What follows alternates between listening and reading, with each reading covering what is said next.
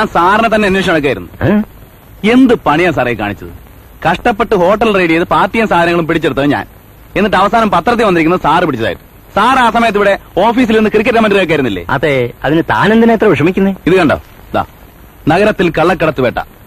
നഗരത്തിലെ ഒരു പ്രമുഖ ഹോട്ടലിലെ ഒരു മുറിയിൽ നിന്നും നാലര ലക്ഷം രൂപ വില വരുന്ന കള്ളക്കടത്ത് സാധനങ്ങൾ കസ്റ്റംസ് സൂപ്രണ്ട് നാണക്കുട്ടൻ നായരുടെ നേതൃത്വത്തിലുള്ള ഒരു സംഘം കസ്റ്റംസ് ഉദ്യോഗസ്ഥന്മാർ പിടിച്ചെടുത്തിരിക്കുന്നു. ഇതൊരു വലിയ ചതിവായി പോയി സാറേ. ജോലിയെ കയറിയിട്ട് ആദ്യമായിട്ട് പിടിച്ചൊരു കോൾ മനസ്സറിയാതെ പോവാന്ന് വെച്ചാ ദേ ഇങ്ങോട്ട് നോക്ക്. താൻ തീരെ ചെറുപ്പമാണ്. സർവീസ് ആവുന്നേ ഉള്ളൂ. അതുകൊണ്ടാണ് ഇങ്ങനെയൊക്കെ തോന്നുന്നത്. സർവീസിൽ ഇടയ്ക്കേ എനിക്കും ഇങ്ങനെയൊക്കെ തോന്നിയിരുന്നു. ഞാൻ നടത്തിയിട്ടുള്ള എത്ര എത്ര റെയ്ഡുകളുടെ ക്രെഡിറ്റ് ആണ് അന്നത്തെ സീനിയേഴ്സ് വാങ്ങിയിട്ടുള്ളതെന്ന് അറിയാമോ പലരും ഇന്ന് കളക്ടർ റാങ്കിൽ ഇരിക്കുന്നു. അല്ല അതിന്റെ സ്നേഹം അവർക്ക് എന്നോടുണ്ടെന്ന് കരുതിക്കോ? തനിക്കിപ്പോൾ ഇതിന്റെ ക്രെഡിറ്റ് കിട്ടിയിട്ട് എന്താ ഇത്ര അത്യാവശ്യം? പ്രൊമോഷൻ ഒന്നും ഡ്യൂ ആയി നിൽപ്പില്ലല്ലോ. എന്റെ കാര്യം അതാണോ? ഇതുപോലെ ഒരു നാലഞ്ച് റേഡിന്റെ ക്രെഡിറ്റ് ഒന്ന് കിട്ടിയാൽ പ്രൊമോഷൻ ഉറപ്പാണ്. എനിക്കൊരു നന്മ വന്നാൽ അത്രയും സ്നേഹം എനിക്ക് തന്നെ ഉണ്ടാകത്തില്ലേ? അതെന്താ താൻ ഓർക്കാത്തത്? സഹപ്രവർത്തകൻ എന്ന് പറയുമ്പോ ഇങ്ങനെയൊക്കെ അല്ലേ രവീന്ദ്ര വേണ്ടത്? അല്ല സാർ അത് സാരമില്ല. അറിവുകൊണ്ട് കൊണ്ട് പറഞ്ഞതേ ഞാൻ കരുതും. വിഷമിക്കണ്ട. കുറെ കഴിയുമ്പം തനിക്കും കുറെ ജൂനിയേഴ്സ് ഉണ്ടാകും. അവർ കുറെ റെയ്ഡ് നടത്തും. അതിന്റെ എല്ലാം ക്രെഡിറ്റ് തനിക്കും കിട്ടും.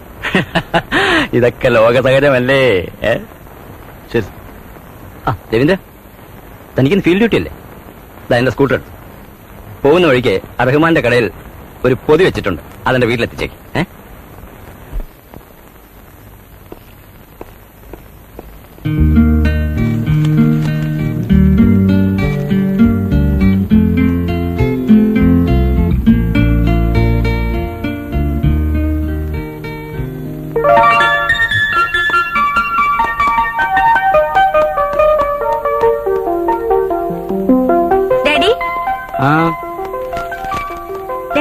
കോളേജിൽ പോകുന്നു ആ നീ മോളെ കോളേജിൽ കൊണ്ട് വിട്ടിട്ട് വാ.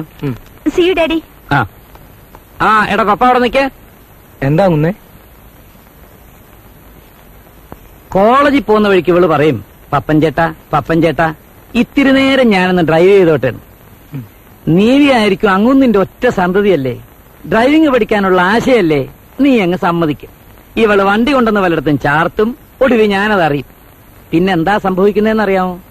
ആ കുറ്റം അവളുടേതാണെങ്കിലും നിമ്മി എന്റെ ഒറ്റ മോളായതുകൊണ്ട് എനിക്ക് അവളെ പിരിച്ചുവിടാൻ പറ്റുമോ ഇല്ല. അപ്പൊ പിന്നെ ഒരു മാർഗേ ഉള്ളൂ. നിന്നെ പിരിച്ചു വിടുക അയ്യോ അങ്ങനെ? ആ അത് മനസ്സിൽ വെച്ചോണ്ട് പോയാ മതി. മോക്ക് നേരെ വായിച്ചല്ലേ? അങ്ങനെ പറഞ്ഞു കേട്ടല്ലോ. വാ കേട്ടു.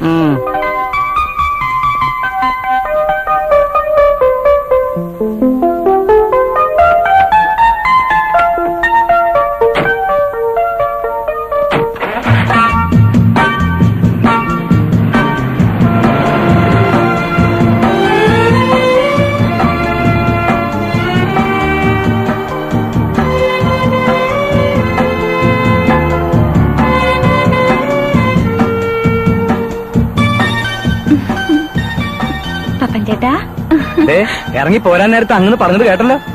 അത് ഡാഡി ചുമ്മാ തമാശ പറഞ്ഞല്ലേ ഓ പറഞ്ഞ പറഞ്ഞതുപോലെ പ്രവർത്തിക്കുന്ന പ്രകൃതമാ അങ്ങനെ എന്റെ പൊന്നു കുഞ്ഞെ ഒരു ഭാര്യയും അഞ്ചു കുട്ടികളുള്ള പരാധീനക്കാരനാണ് ഈ ഞാൻ. എന്റെ വയറ്റിപ്പഴം മുട്ടിക്കല്ലേ?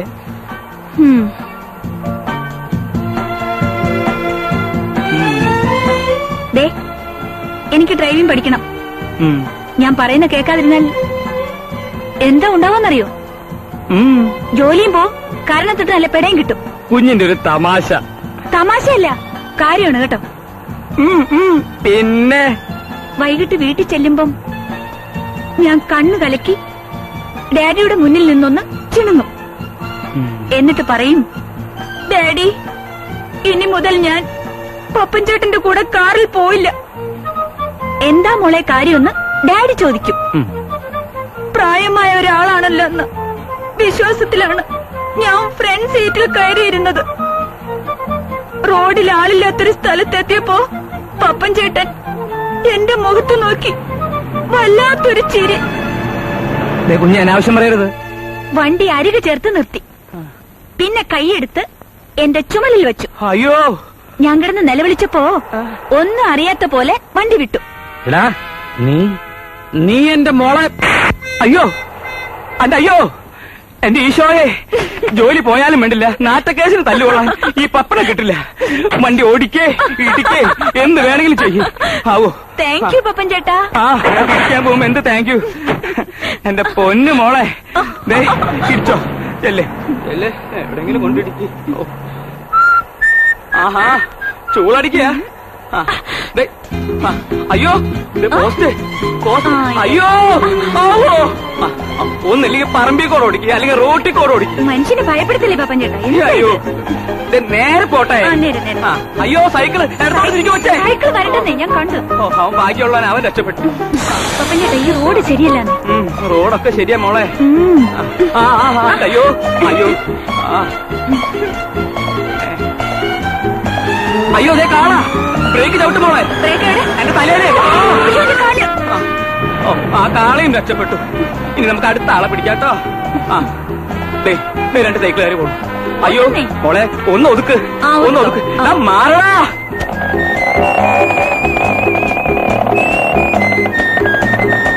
സ്കൂട്ടർ വരൂ. ബ്രേക്ക് ചവിട്ട്.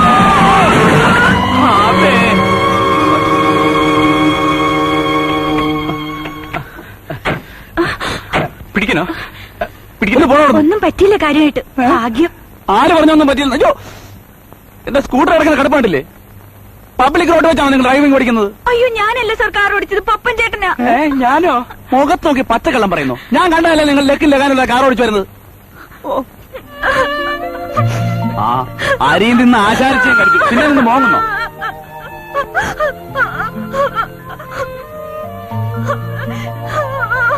ഒന്ന് പതുക്കെ കരകൊച്ച നാട്ടുകാർ കണ്ട കേസ് വേറെയാവും. പോട്ടെ സാറേ ഒരു അബദ്ധം പറ്റി. വണ്ടി നന്നാക്കാൻ എത്ര ചെലവെന്ന് വെച്ചാൽ ഈ കുഞ്ഞ് ഡാഡിയുടെ നിന്ന് വാങ്ങിച്ചു ഏത് ഡാഡി? ഈ കുഞ്ഞിന്റെ ഡാഡിയിൽ നിന്ന് ഞാൻ വാങ്ങിച്ചു നമുക്ക് കേസിന് റെക്കാർഡിൽ നിന്നും പോണ്ട. എടോ എന്റെ കൈയും കാലും ഞാൻ താൻ ഉത്തരവാദം ചെയ്യോ. എല്ലാം പോട്ടെ സാറേ ഇന്നത്തേക്കൊന്ന് ക്ഷമിക്കേ. വർക്ക്ഷോപ്പുകാരുടെ ബില്ല് നാളെ രാവിലെ കൃത്യമായിട്ട് എത്തിച്ചു തന്നേക്കണം അത് ഞാൻ ഏറ്റു ഉം. വാ, കേറിക്കോ, കേറിക്കോ. ഹാവൂ, അയ്യോ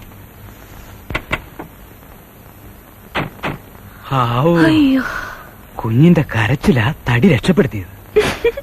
ഇത്തരം അക്കടി പറ്റുമ്പോ ദൈവം രക്ഷപ്പെടാൻ വേണ്ടി ഞങ്ങൾക്ക് അറിഞ്ഞു തന്നിരിക്കുന്ന ഒരു ആയുധമായി കരച്ചിൽ. ഈ കണ്ണീരിന്റെ മുമ്പിൽ കസ്റ്റംസ് അല്ല ഏത് പോലീസും വീഴും. പിന്നെ പിന്നെ അതിന് വേറെ ആളെ നോക്കിയാ മതി. വർക്ക്ഷോപ്പിലെ കാശ് നാളെ രാവിലെ കൊണ്ട് തന്നില്ലെങ്കിലേ അപ്പൊ കാണാൻ ആരാ വീണെന്ന്. സാറേ അത് ഞാൻ. വണ്ടി എടുക്ക്, എടാ രാവിലെ വണ്ടിയുമായിട്ട് കോളേജിലേക്ക് പോയപ്പോഴാ നിന്നോട് പറഞ്ഞതല്ലേ? വണ്ടി ഒക്കെ ഓടിക്കാൻ കൊടുക്കരുതെന്ന്. അങ്ങനെ അത് ഇല്ല ഡാഡി. പപ്പൻ ചേട്ടൻ എനിക്ക് വണ്ടി ഓടിക്കാൻ തന്നില്ല. പിന്നെ? പപ്പൻ ചേട്ടൻ തന്നെയാ വണ്ടി ഓടിച്ചത്. ആക്സിഡന്റ് ഉണ്ടായപ്പോഴോ? ഒന്നും പറയണ്ടേ ഡാഡി. ഞാൻ ബാക്ക് സീറ്റിലിരിക്കുന്നു. പപ്പൻ ചേട്ടൻ ഫ്രണ്ട് സീറ്റിലും. വണ്ടി ഓടിക്കാൻ തുടങ്ങുമ്പോ പുറകോട്ട് തിരിഞ്ഞു തുടങ്ങും.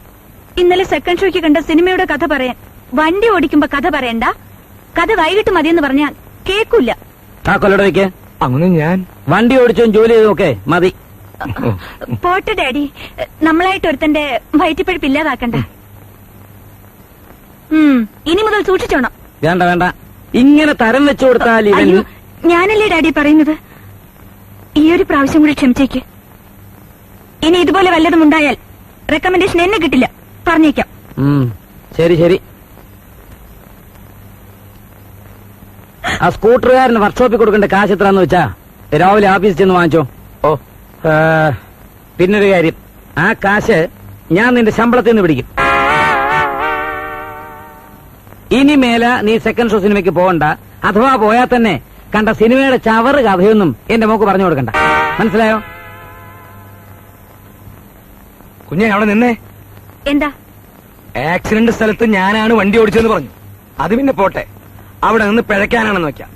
ഇവിടെ അങ്ങുന്നിന്റെ മുമ്പിൽ ഷോ ഇതൊരു കൊടും ചതിയായി പോയി കുഞ്ഞെ. സെക്കൻഡ് ഷോ സിനിമയുടെ കഥ പറഞ്ഞെന്ന്. ഞാൻ സിനിമ കണ്ട കാലം മറന്നു. ജ്ഞാനസുന്ദരി കണ്ടതിൽ പിന്നെ ഞാൻ ഒരു സിനിമയും കണ്ടിട്ടില്ല. ജോലി പോവാതെ ഞാൻ ഒപ്പിച്ചില്ലേ? അതുപോലെ വർക്ക്ഷോപ്പിലെ കാശ് എന്റെ ശമ്പളത്തിൽ നിന്ന് പിടിച്ച ഞാൻ എവിടെ നിന്ന് ചെലവിന് കൊടുക്കുക വെരി സിമ്പിൾ മാസാമാസം ഡാഡി പിടിക്കുന്ന കാശ് എന്റെ പോക്കറ്റ് മണിയിൽ നിന്ന് ഞാൻ തരുന്നു. ഇത്ര നിസ്സാര കാര്യത്തിനൊക്കെ അപ്സെറ്റ് ആയല്ലോ പാപ്പൻ ചേട്ടാ. കുറെ കൂടി ചങ്കുറപ്പ് വേണ്ടേ? എന്റെ മോളെ നീ എന്റെ ജീവനും കൊണ്ടേ പോ.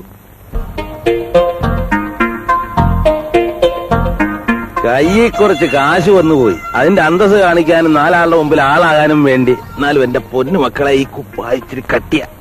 എന്റെ പൊന്നപ്പാ ഒന്ന് ചൊറിയാണ്ടിരി. നോക്കൂ അവർ വരുമ്പോഴും അപ്പൻ ഇങ്ങനെ തന്നെ ചൊറിഞ്ഞുകൊണ്ടിരിക്കും. എന്റെ പൊന്നു മക്കളെ എനിക്ക് ഈ കാൽസറായിട്ട് അപ്പ തുടങ്ങും ചൊറിയാൻ. നല്ല ഒന്നാം തരം ചേന്നമംഗലം കൈലിയും ബെന്നിനും എനിക്ക് പറഞ്ഞിട്ടുള്ളത്. ഇതൊന്നും മനുഷ്യർക്ക് പറഞ്ഞിട്ടുള്ള അല്ലടാ. ഞാൻ പിന്നെ നിങ്ങൾക്ക് വേണ്ടി അതൊക്കെ ഇടുന്നത്. എന്ത് ചെയ്യാം? കാലത്തിന്റെ ഓരോ പോക്കേ. ഓ എന്റെ അപ്പാ. എനിക്ക് മനസ്സിലാഞ്ഞിട്ട് ചോദിക്കാം. അവിടെ എന്തിരുന്നിട്ട് അപ്പൻ ഈ ചൊറിച്ചിൽ ചൊറിയുന്നത്? അപ്പൻ അപ്പന്റെതായ ഒരു സ്റ്റൈലിൽ അങ്ങനെ. എടാ മക്കളെ ഞാൻ നിങ്ങളെ പോലെ കുട്ടിക്കുറായും യാട്ടിലും ഒന്നും തേച്ചിട്ടല്ല വളർന്നത്. നല്ല ഒന്നാന്തരം മീൻ ചെതുമ്പലിന്റെ ഇടയിൽ കടലിലും കടപ്പുറത്തും കിടന്ന് ചോര വെള്ളമാക്കിയിട്ടാണ് നീർന്നു നിൽക്കാൻ പഠിച്ചത്. അതിന്റെ കുറെ ചൊറിച്ചിൽ കാണും. എന്തു പറഞ്ഞാലും അപ്പ തുടങ്ങും കുറെ നാറുന്ന പഴംപുരാണങ്ങൾ ഈ അപ്പന്റെ ഒരു സ്വഭാവം. അതെങ്ങനെയാ? കാക്കുളിച്ച കൊക്കാവും. അപ്പ പൈപ്പ് അങ്ങനല്ല പിടിക്കേണ്ടത്? ഇതാ ഇങ്ങനെയാ എങ്ങനെയെങ്കിലും പിടിച്ചാ പോരടാ. അയ്യോ അത് പോരപ്പാ. ആ സർക്കാരിനെ നാട്ടുകാരെയും കവളിപ്പിച്ച് അഞ്ചാറ് പുത്തൻ തട്ടിക്കൂട്ടി വെച്ച് മൂലം മറക്കരുത്. ദൈവദോഷം ഉണ്ടാവും അലച്ചാണ്ട ചെയ്യല. അപ്പനൊന്നും മറക്കണ്ട. തൽക്കാലം ഒന്നും ഉണ്ടായിരുന്നാ മതി. ഇന്ന് അത് വലിച്ചോണ്ടിരി.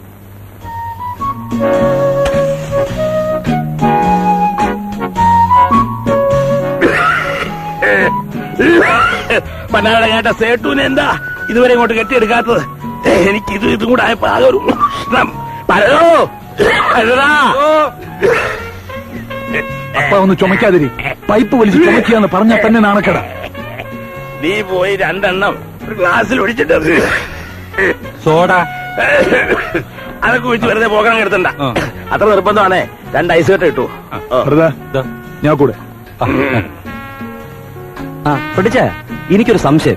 അന്ന് ഹോട്ടൽ റെയ്ഡ് നടന്നപ്പോ നമ്മുടെ സിൻഹയെ പിടിച്ചത് രവീന്ദ്രൻ എന്ന പേരുള്ള ഒരു ഓഫീസറാണെന്നല്ലേ പറഞ്ഞത്? അതെ. പിന്നെ ഇങ്ങനെ നാണക്കുട്ടൻ നായരുടെ പേര് പത്രത്തിൽ വന്നത്? ആ അതല്ലേ അതിന്റെ ഒരു കളി. നാണക്കുട്ടൻ നായർ ആരാ ഉള്ളി അയാളെ നേരത്തെ അറിഞ്ഞിരുന്നെങ്കിൽ നമുക്ക് അറിവ് തന്നേനെ. ഏതായാലും വകതിരി കേട്ട പിള്ളേര് കയറി പിടിച്ചു.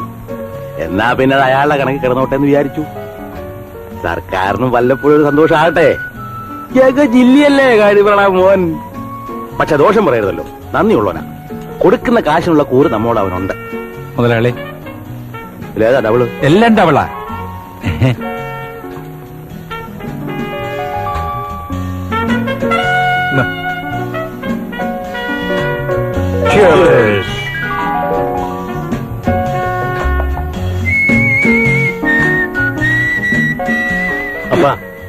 ഈ ഫ്രെഡിച്ചാൻ ഒറ്റയ്ക്ക് ഷൈൻ ചെയ്യാൻ പോയതുകൊണ്ടല്ലേ നമ്മുടെ നാല് ലക്ഷം രൂപയുടെ സാധനങ്ങൾ പിടിച്ചത്?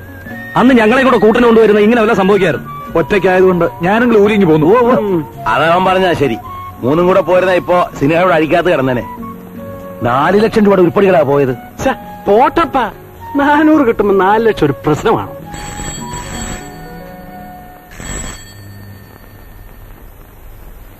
Hello you speaking we are all waiting for you it's all right fix it for tomorrow okay thank you അപ്പോ ചേട്ട് നാളെ വരുള്ളൂ ഛെ, എന്നാ പിന്നെ അതൊക്കെ നേരത്തെ പറഞ്ഞു വലിക്കാൻ പാടില്ലായിരുന്നു? നാലഞ്ചു കോഴി ഏർപ്പാടെന്ന് ഞാൻ ഈ കുന്ത്രാണ്ടൊക്കെ വലിച്ചു വാരിയിട്ടത്. എടാ മരതോ എന്തോ? നീ ഒരു കാര്യം ചെയ് ആ കുപ്പിയും ഗ്ലാസ് ഒക്കെ മിറ്റത്ത് പോയി ഞാൻ ഇതൊക്കെ ഒന്ന് ഊരി കളഞ്ഞിട്ട്. മുണ്ടും പെണ്ണിനും എടുത്തോണ്ട് വരാം ആ. ഏ? അപ്പനുള്ളത് മുറ്റത്ത് പോവാ. ഞങ്ങൾക്കുള്ളൂ മുറിയിൽ. മനസ്സിലായി? ശരി.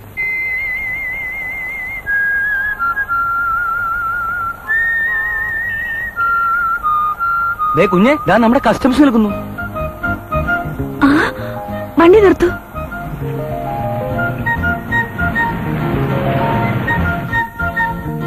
ഹലോ. ഹലോ. വർക്ക്ഷോപ്പിലേക്കുള്ള കാശ് കൊടുത്തയച്ചത് കിട്ടിയോ? കിട്ടി. ഓഫീസിൽ പോയി നിൽക്കുകയായിരിക്കും. വരൂ ഞാൻ ഡ്രോപ്പ് ചെയ്യാം. വേണ്ട താങ്ക്സ് ഞാൻ ബസ്സിൽ പോയിക്കോളാം. പേടിക്കണ്ട. ഇന്ന് ആക്സിഡന്റ് ഉണ്ടാവില്ല. കണ്ടില്ലേ? സാരഥി വേറെയാണ്. വേണ്ട താങ്ക്സ് കമോൺ പ്ലീസ് വേണ്ട ഞാൻ ബസ്സിൽ വന്നോളാം. അയ്യോ ഇന്ന് ബസ്സൊക്കെ സ്ട്രൈക്കാണ് അറിഞ്ഞില്ലേ? ഇല്ല. വരുന്നില്ലെന്നല്ലേ പറഞ്ഞത്. എന്നാ ഞാൻ പോട്ടെ. അല്ല ബസ് സ്ട്രൈക്ക് ആണെങ്കിൽ ഞാനും കൂടെ വരട്ടെ. ഒരു ലിഫ്റ്റ് അങ്ങനെ വഴിക്ക് വാ സാറേ. കമോൺ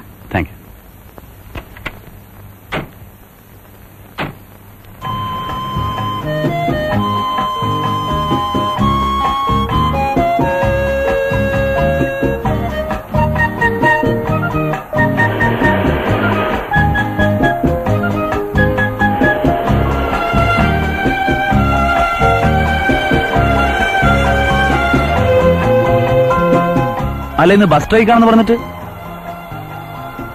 അങ്ങനെ ഒരു നുണ കാച്ചിയില്ലായിരുന്നെങ്കിൽ സാറ് ഈ വണ്ടിയിൽ കയറുമായിരുന്നു. ഓഹോ അപ്പൊ കാണുന്ന പോലെ ഒന്നും അല്ലല്ലോ ആൾ. ആ വണ്ടി നിർത്ത്. നിർത്താൻ. ആ. എന്തു പറ്റി? എന്താ സാറേ? ഇന്നാളൊരു ദിവസം കാര്യ സഹായത്തിന് കള്ളക്കരച്ചിൽ. ഇപ്പൊ അതേ പച്ച നുണ. ഇനി കാര്യം ഇറങ്ങുന്നതിന് മുമ്പ് എന്തെങ്കിലും അതിക്രമം കാണിക്കാൻ പോണില്ലെന്ന് ആര് കണ്ടു? എന്റെ പൊന്നെ എന്നെ വിട്ടേര്. ഞാൻ ഇറങ്ങിക്കോളാം. പ്ലീസ് ഇനി ഞാൻ ഒരു വേഷം കെട്ടും എടുക്കില്ല അടങ്ങി ഒതുങ്ങി മൂലക്കിരുന്നോളാം മൂലയ്ക്ക് ഇരുന്നോളാം. പോരെ. ഇനി ഒരു പ്രശ്നം ഉണ്ടാവില്ല സാർ. നമുക്ക് പോവാം. കസ്റ്റംസിലാണ് ജോലിയെന്ന് യൂണിഫോം കണ്ടപ്പോൾ മനസ്സിലായി. പേര് രവീന്ദ്രനാഥൻ എന്നാണെന്ന് നെയിം ബോർഡിൽ നിന്ന്. താങ്ക്സ് ചുമ്മാ ഫോർമാലിറ്റിക്ക് വേണ്ടിയെങ്കിലും എന്റെ പേരെന്ന് ചോദിച്ചൂടെ? മിസ് നിർമ്മല മേനോൻ നിമ്മി എന്ന് വിളിക്കും. മറൈൻ എക്സ്പോർട്ടർ രാഘവ മേനോന്റെ ഒറ്റ സന്താനം. സെക്കൻഡ് ഇയർ ബി എക്ക് പഠിക്കുന്നു. പപ്പൻ ചേട്ടനോട് ആരെങ്കിലും പറഞ്ഞോ പറയാൻ? ഇല്ല നിങ്ങൾ ചോദിച്ചും പറഞ്ഞും വെറുതെ കഷ്ടപ്പെടണ്ടല്ലോ എന്ന് കരുതിയ.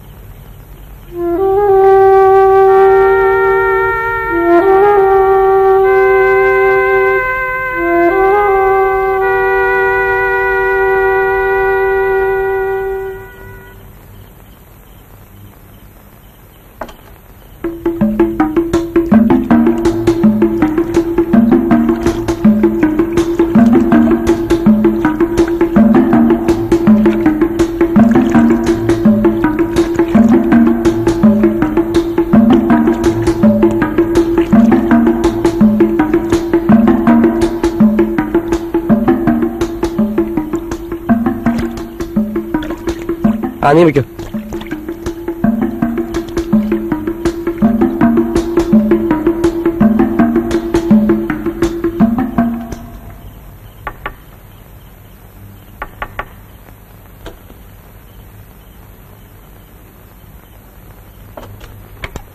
എന്താ അത്ര വൈകിയത്? ഏയ് ഒട്ടും വൈകിട്ടില്ല പതിവ് സമയം ആകുന്നല്ലേ ഉള്ളൂ. ബീവിക്ക് വെറുതെ തോന്നിയതാ. ദേ പിന്നെയും തുടങ്ങി. ഒന്നാം തരം പേരുണ്ട്. പള്ളിയിലിട്ട പേര് മേരിക്കുട്ടിന്ന്. നിങ്ങൾ ക്രിസ്ത്യാനികളുടെയും മേരിക്കുട്ടിയും ഞങ്ങൾ മുസ്ലിങ്ങളുടെ മറിയാ ബീവിയും ഒക്കെ ഒന്നാണ് എന്റെ കൊച്ചെ? ആ നീ പോയി കഞ്ഞി വിളമ്പ്. എനിക്ക് വിശക്കുന്നു. ആ എന്നാ പിടി. ഇനി എന്താ കൈ വെച്ച് ചെലവായി എന്ന് പറയണ്ട. ബീഡിക്കുള്ള കാശ് പോലും ഞാൻ എടുത്തിട്ടില്ല.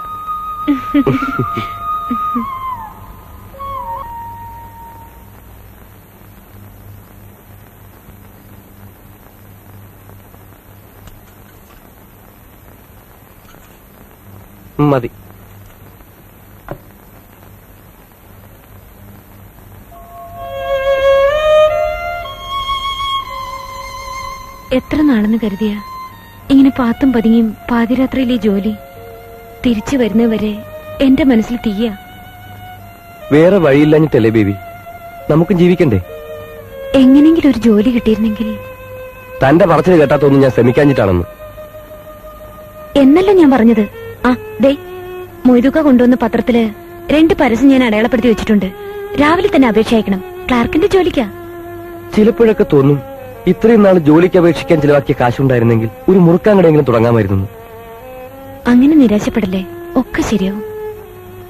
ആ ഒരു പ്രതീക്ഷയല്ലേ ബേബി നമ്മുടെ ഈ ജീവിതം?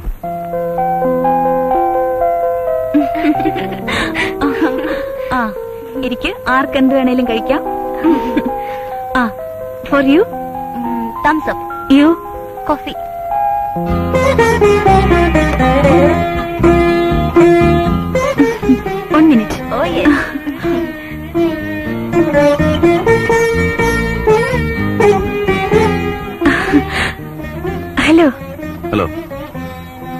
എന്താ കഴിക്കുന്നത് കണ്ടൂടെ?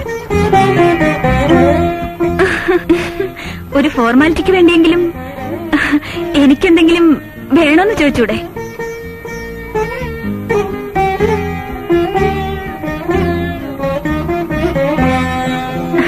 ഏതായാലും വന്ന സ്ഥിതിക്ക് ഈ ചായ കുടിക്കാം.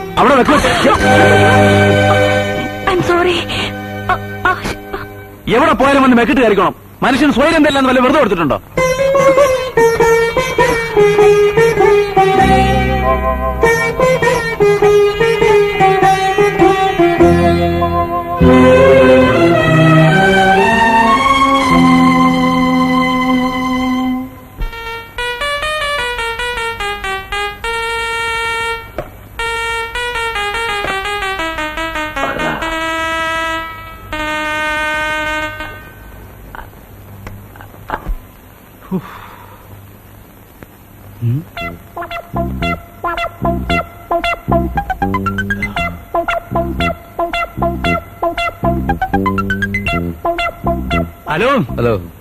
മധുക്ക് രണ്ട് പിടിയോട്ടെ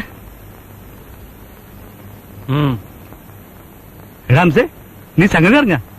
എന്താടാ? ചിരട്ടപ്പാലത്തിന്റെ അവിടെ കപ്പൽ നോക്കില്ല പൊന്നപ്പൻ? കുന്നുംപുറത്തെ മാലിയാട്ടെ കൗസൂരെ നോക്കി ചിരിച്ചു മെണ്ടി. അതിലുണ്ട. എന്തുണ്ടെന്ന് ഉണ്ടെന്നേ ലവൻ പെശക്ക് പെശക്ക് ആ നോട്ടവും ചിരിയും വർത്തമാനവും കണ്ടാലറിഞ്ഞൂടെ കടയിൽ വന്നിരുന്ന് ഇബിലീസിന്റെ വർത്തമാനം പറഞ്ഞാണ്ടല്ല? അടിച്ചു നിന്റെ ഒരു ദിവസമെങ്കിലും പരദൂഷണം പറയാൻ തിരുത്തുറാർക്ക്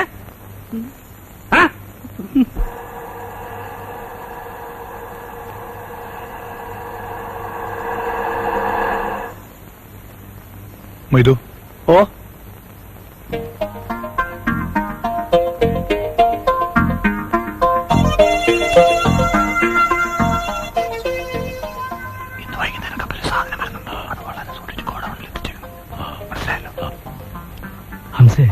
അതിലെന്തോ ഉണ്ട്. ഒന്ന് ചുമ്മാ വരട്ടെ. ഹംസേ സത്യമായിട്ടും ഇതിലെന്തോ ഉണ്ട്? നീ ഇനിയും പോയില്ലടാ ചേട്ടാനെ പിന്നെ നുണക്കഥകൾ പറയാൻ വേണ്ടി കുത്തിയിരിക്കുക എന്റെ കൈവിട്ടാ നിന്റെ മയ്യത്ത്. എഴുതേട്ടാ ഇന്ന്.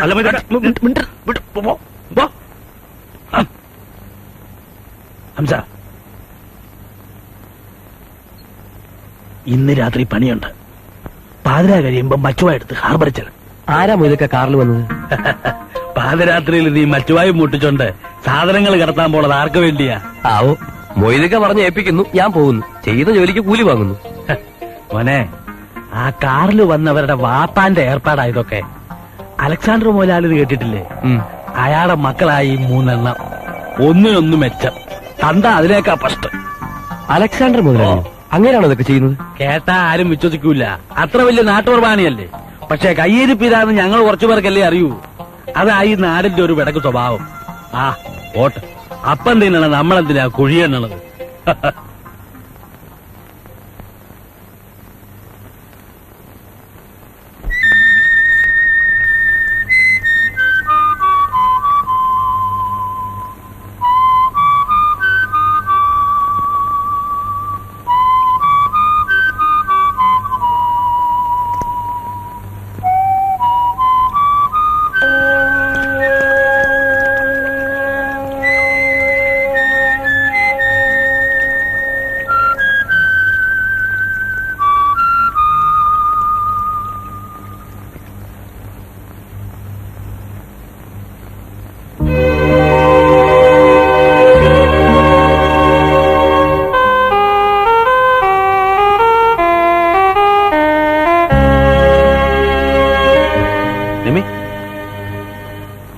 ഇതെന്താ സാറേ?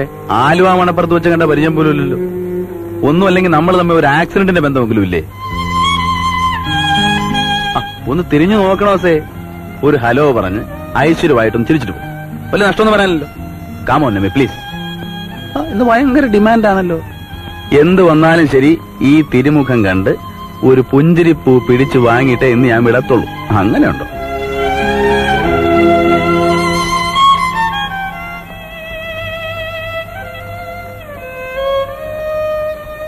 എന്താ നമി എന്തിനാ കരയുന്നേ? അത് ഞാനൊന്നും പറഞ്ഞില്ലല്ലോ. ഞാൻ വിളിച്ചൊന്നും സംസാരിച്ചൊന്നും ഇഷ്ടമായില്ലല്ലേ? ഐ എം സോറി ഞാൻ പോരാ.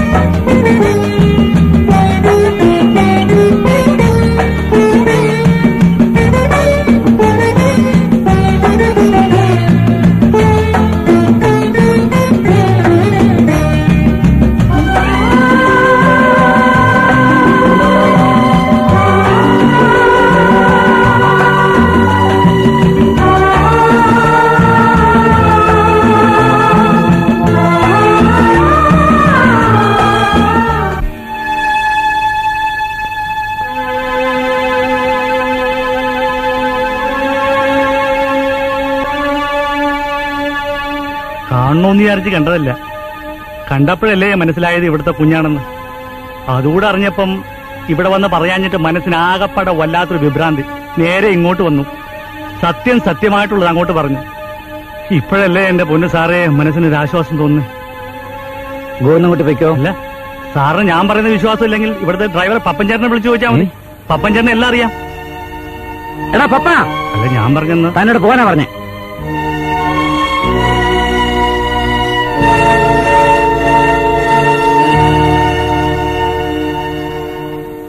വന്നാ ഉം.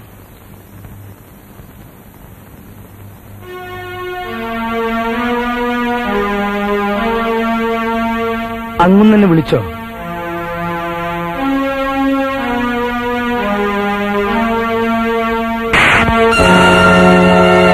ഒരു ഡ്രൈവർക്കുള്ള സ്ഥാനമല്ല നിനക്ക് ഈ വീട്ടിൽ ഞാൻ തന്നിട്ടുള്ളത്. അല്ല ആ നിന്നെ ഞാൻ തല്ലി.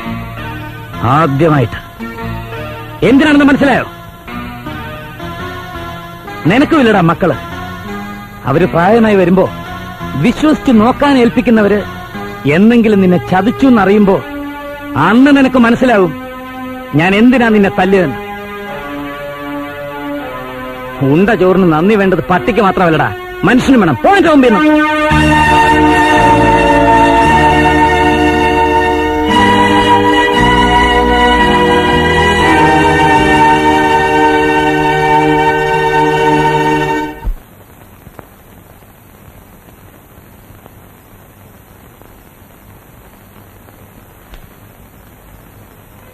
അല്ല.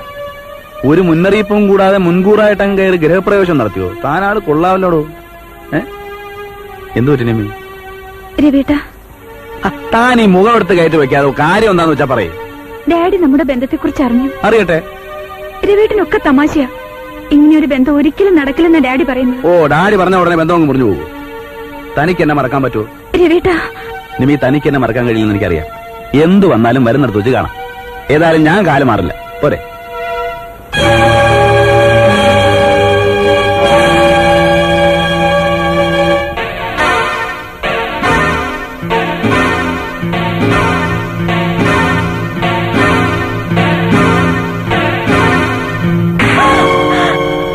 ഇത് നിങ്ങളുടെ മോളായിരിക്കും.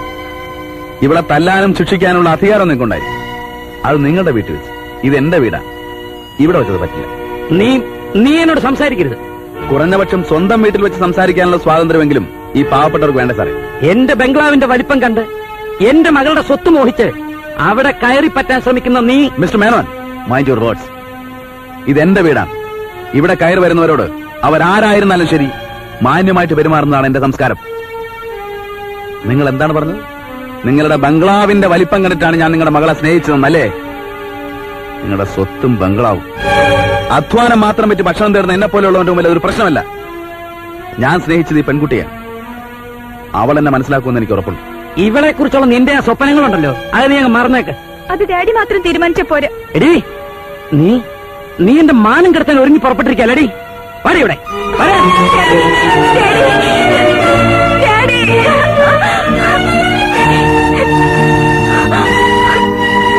എടുക്കടാ വണ്ടി.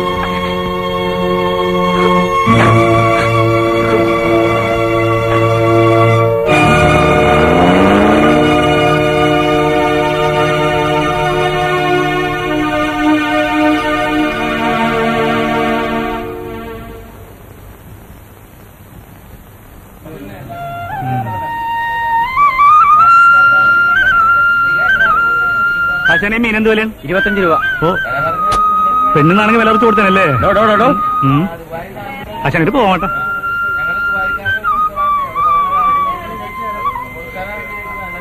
ഇതാ നാപ്പത് രൂപ. ഓ തന്റെ ഒടുക്കത്തെ വില. ഈ വില എങ്ങനെ മീൻ വാങ്ങിച്ചിനോടും അതിന് കാശുള്ള വന്ന് വാങ്ങിച്ചോളപ്പാ. ഓ വരും വരും ദുബായിക്കാരും വരും.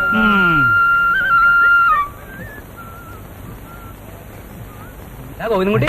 ഒന്ന് നിന്നേ. എന്താ എന്തിനാ ഈ പൂശു പൂശി നിനക്ക് മനസ്സിലായോ? എന്നാലേ ദേ ഇതും കൂടി കിട്ടിക്കഴിയുമ്പോ നിനക്ക് മനസ്സിലാവും. ഏഷ്ണി പറഞ്ഞു കുടുംബം നടക്കാൻ നടക്കുന്ന നാറി. ചവിട്ടി കുടിക്കാൻ അമ്മ ആ. ഇതിന് മാത്രം ഞാൻ എന്തോന്ന് ചെയ്ത്? അല്ലേ ഈ കൺമുമ്പേ കണ്ട ആരും പറയാനും വയ്യ?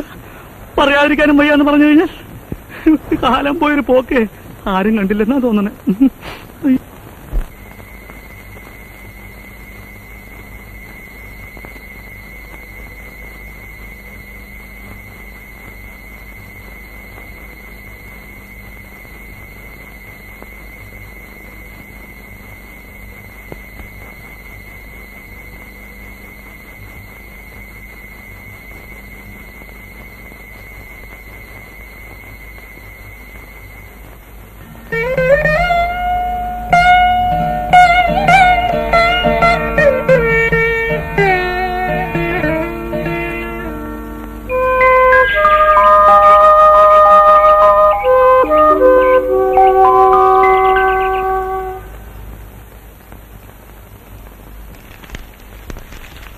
അങ്ങുന്നേ നിമ്മിക്കുഞ്ഞിനെ കാണുന്നില്ല. അവൾ പുറത്തെവിടെങ്കിലും കാണും. ഇല്ല അങ്ങുന്നേ എല്ലായിടത്തും നോക്കി ഒരിടത്തും ഇല്ല.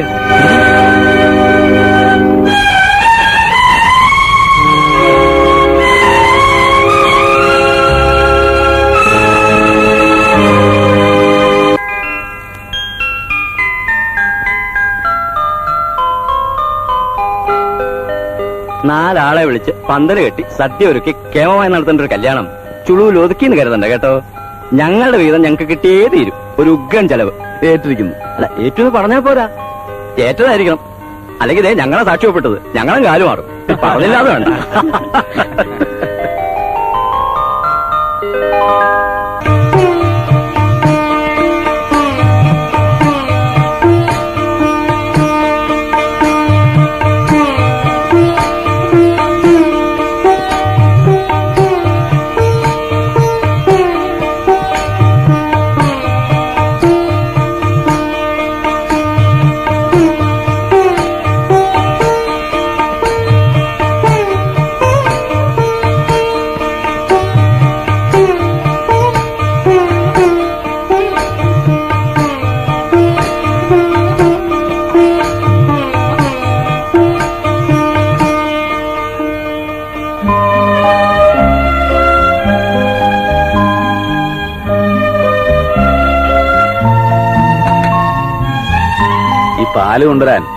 ഇവിടെ അമ്മായി അമ്മയോ നാത്തുമാരോ ആരുമില്ല.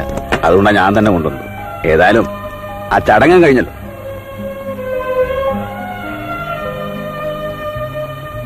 എന്താണ് മുഖത്തൊരു ലജ്ഞ? അല്ല നവവധൂരം ഒരു അല്പം ലജ്ജയൊക്കെ ഉള്ളത് നല്ലതാണ് നിമി സത്യം പറയും ഡാരിയെ ധിക്കരിച്ച് എന്റെ കൂടെ ഇറങ്ങിപ്പോകുന്നതിൽ വിഷമം തോന്നുന്നുണ്ടോ?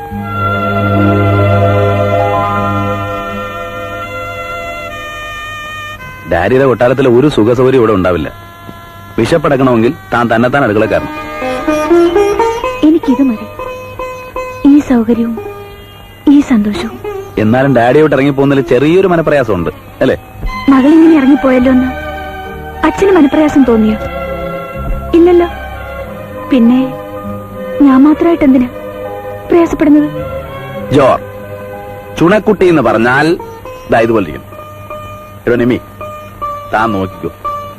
നമ്മുടെ ഈ കൊച്ചു വീട് നമ്മുടെ ഈ കൊച്ചു ലോകം തന്റെ തന്തപ്പടിക്ക് ഏഴ് ജന്മം തപസ്സിരുന്നാലും സങ്കല്പിക്കാൻ പറ്റാത്ത ഒരു കൊട്ടാരമാക്കി നമ്മൾ മാറ്റും? അല്ല കാര്യങ്ങൾ ഇത്രയൊക്കെ ആയ സ്ഥിതിക്ക് ഈ ലൈറ്റ് നമ്മളിങ്ങനെ ഇട്ടുകൊണ്ടിരിക്കുന്നത് അത്ര ശരിയല്ലല്ലോ. നമുക്കൊന്ന് ഓഫ്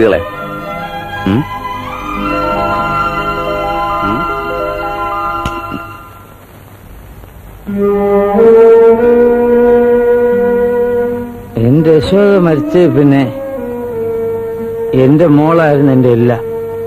നിന്നി രാപകലില്ലാതെ കഷ്ടപ്പെട്ട് ഈ കണ്ട സ്വത്ത് മുഴുവൻ ഞാൻ ഉണ്ടാക്കിയത് അവക്ക് വേണ്ടിയാ. അവക്ക് വേണ്ടി മാത്രം. എനിക്ക് അവൾ മാത്രമേ ഉണ്ടായിരുന്നുള്ളൂ. എന്നിട്ട് അവൾ നിമേ? ഏയ്. എടാ ഭാര്യ. ദേ വരുന്നെന്ന് പറഞ്ഞില്ലേ? അപ്പോഴേക്കും തുടങ്ങി. വിളിയും ബഹളവും. താൻ അടുക്കള ഭരണം ഏറ്റെടുത്തിട്ടേ ഉള്ളൂ. പ്രൊബേഷണറി പീരീഡ് ആണ് അപ്പൊ കുറെ താമസമൊക്കെ ഉണ്ടാവും. സംഗതി ഒക്കെ ശരിയാണ്. പക്ഷെ ഓഫീസിലെത്താൻ ലേറ്റ് ആയാലും ഇതൊരു എക്സ്ക്യൂസ് ആവില്ല മാഡം. ഞാനതിന് ഒട്ടും താമസിച്ചില്ലല്ലോ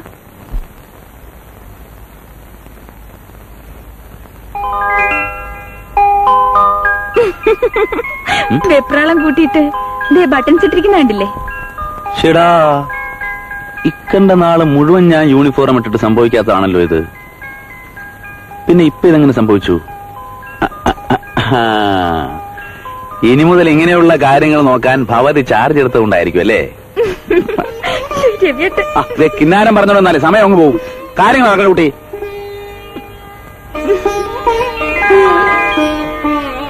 ബാക്കി സായങ്കാലം ഓക്കെ?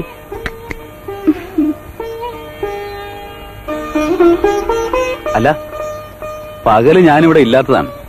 കൊട്ടാരത്തിൽ നിന്ന് തന്റെ തന്തപ്പടിയുടെ കിങ്കരന്മാരാരെങ്കിലും വന്ന് എന്റെ രാജകുമാരെ തട്ടിക്കൊണ്ട് പോകുമോ അല്ല വേണമെങ്കിൽ രണ്ട് പോലീസുകാരെ വീട്ടിലിടാം ഉം? വാചകടിച്ചു നിന്നു ഒടുക്കം ഓഫീസിലെത്താൻ വൈകിയാൽ എന്നെ ഒന്നും പറയരുത്.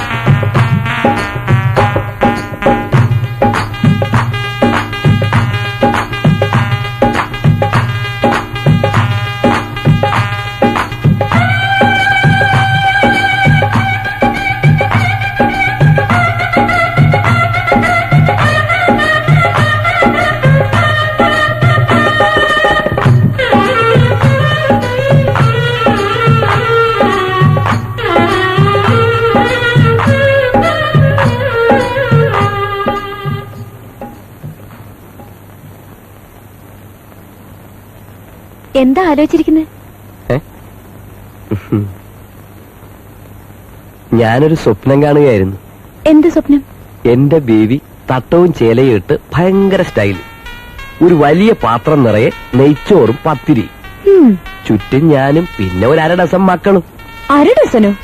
കണക്കായി പോയി എവിടെ എവിടുന്നെടുത്ത് ചെലവിന് കൊടുക്കും? അതിനല്ലേ പടച്ചോനുള്ളത്. ശരി ശരി. കിടന്നുറങ്ങാൻ നോക്ക്. സമയം ഒരുപാടായി. അങ്ങനെ അങ്ങ് പോയാലോ? ദേ വേണ്ട വേണ്ട. നമ്മുടെ കരാർ ഓർമ്മയില്ലേ? എന്ത് കരാറ്? സ്ഥിരമായിട്ടൊരു ജോലി കിട്ടുന്നവരെ ഒന്നും വേണ്ടാന്ന്. ആ എന്നാ ഒരു കാര്യം ചെയ്യാം. ആ മുറ്റത്തൊരു കട്ടിലിട്ട് ഞാൻ ചുരുണ്ടുകൂടി അവിടെ എങ്ങനെ കിടന്നോളാം. ഒരു നശിച്ച കരാർ. ഹോ. ഈ വായിൽ നാക്കില്ലായിരുന്നെങ്കിൽ പണ്ടേ കുറുക്കം കൊണ്ടുപോയേനെ.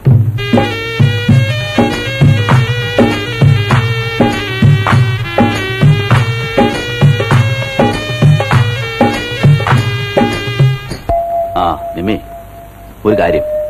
ഞാൻ വളരെ സീരിയസ് ആയിട്ട് ആലോചിച്ചു. എന്റെ ജോലി എന്ന് പറഞ്ഞ കടലിലും കപ്പലിലും കരയിലും കള്ളന്മാരുടെ പുറകെയുള്ള അലച്ചിലാണ്. വലിയ സുഖമുള്ള ഏർപ്പാടല്ലെന്ന് സാരം. ഒന്നും ഉണ്ടായിട്ടല്ല. എന്നാൽ ഒരു സേഫ്റ്റി. താൻ ഏതായാലും സെക്കൻഡ് ഇയർ വരെ എത്തി. ഒരു കൊല്ലം കൂടെ ഒന്ന് മെനക്കെട്ടാൽ ആ ഡിഗ്രി ഞാൻ കയ്യിലെടുക്കാം. അയ്യോ ഇനി കോളേജിൽ പോവാനോ? ഞാനില്ല. കോളേജിൽ പോകാൻ മടിയാണെങ്കിൽ വീട്ടിൽ നിന്ന് പഠിക്കാം. പ്രൈവറ്റ് ആയിട്ട് കംപ്ലീറ്റ് ചെയ്താൽ മതി. ഒരു ഡിഗ്രി കയ്യിലുള്ളത് എപ്പോഴും നല്ലതാണ് എവിടെയെങ്കിലും ഒരു ജോലിക്ക് ശ്രമിക്കേണ്ടി വന്നാൽ ഒന്നുമല്ലെങ്കിലും ഒരു ഉറപ്പല്ലേ? പഠിച്ചാൽ എന്റെ തലയിലൊന്നും കേറൂല രവിയേട്ടാ? തലേ കയറൂലേ. പഠിക്കുന്ന കാര്യങ്ങൾ വെച്ച് ബാക്കി എല്ലാം നിന്റെ തലേ കയറുന്നുണ്ടല്ലോ. അപ്പൊ മനസ്സ് വെച്ചാൽ ഇതും കയറും.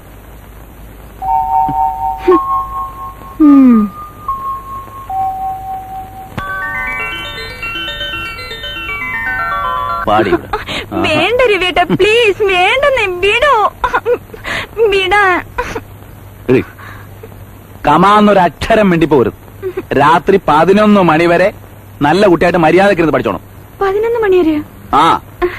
അതുവരെ രവിയേട്ടൻ? ആ എന്റെ കാര്യം ഓർത്ത് എന്റെ പൊന്നും കൂടെ വിഷമിക്കണ്ട. അതൊക്കെ ഞാൻ എങ്ങനെയെങ്കിലും മാനേജ് ചെയ്തോളാം. കേട്ടോ? മണി മണി പോലെ ഇരുന്ന് പഠിച്ചില്ലെങ്കിലോ ഉമ്മോ.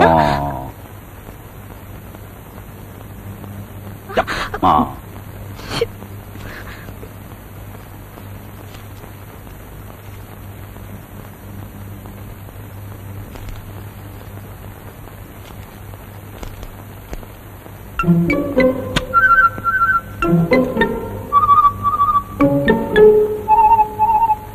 ഡേയ്,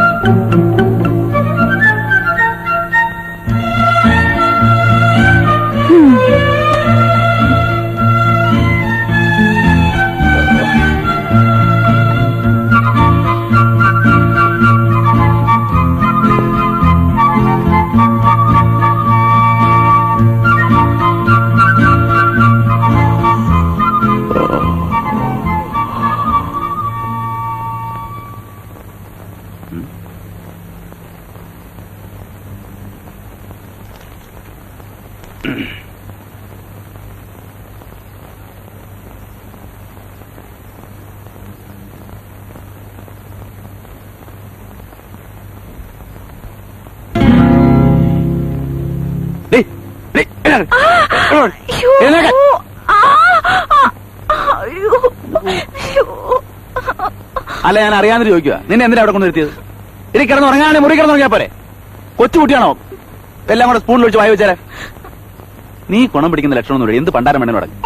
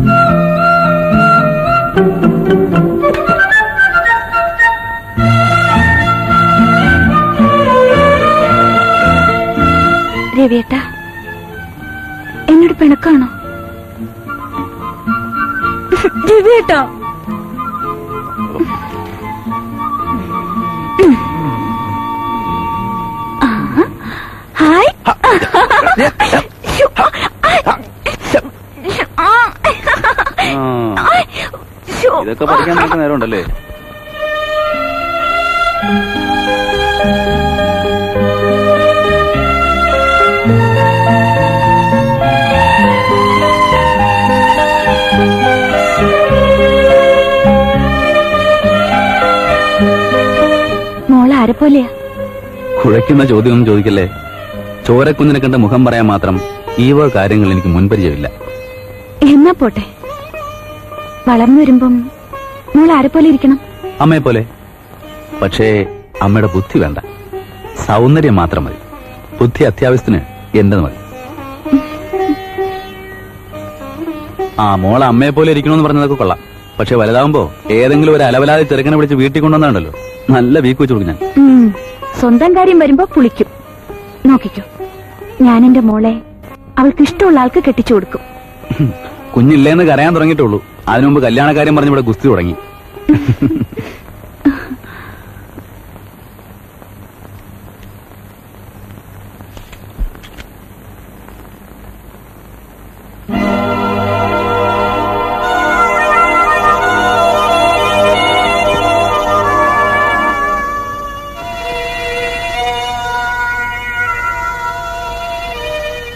അപ്പോയിന്റ്മെന്റ് ഇല്ലാതെ ആരെയും അകത്തേക്ക് കടത്തിവിടുമെന്ന് റിസപ്ഷനിൽ പറഞ്ഞിട്ടില്ലേ? പിന്നെ ഇയാൾ എങ്ങനെ കടന്നു വന്നു? ഞാൻ അന്വേഷിക്കാം സാർ ഡു ഇറ്റ് ഇമീഡിയറ്റ്ലി ഞാൻ അങ്ങയുടെ സൗജന്യം തേടി വന്നതല്ല. ഈ തിരുമുഖം കാണണമെന്ന് എനിക്ക് വലിയ നിർബന്ധമില്ല. ഒരു വിവരം അറിയിക്കാനുണ്ടായിരുന്നു. നിങ്ങളൊരു മുത്തച്ഛനായി. കുഞ്ഞും തളയും മെഡിക്കൽ സെന്ററിലെ മെറ്റേണിറ്റി വാർഡിലുണ്ട്. ദാറ്റ്സ് ഓൾ അങ്ങനെ ആർക്കല്ല എവിടൊക്കെ കുട്ടികൾ ഉണ്ടാകുന്നു അതിന് ഞാനെന്ത് വേണം?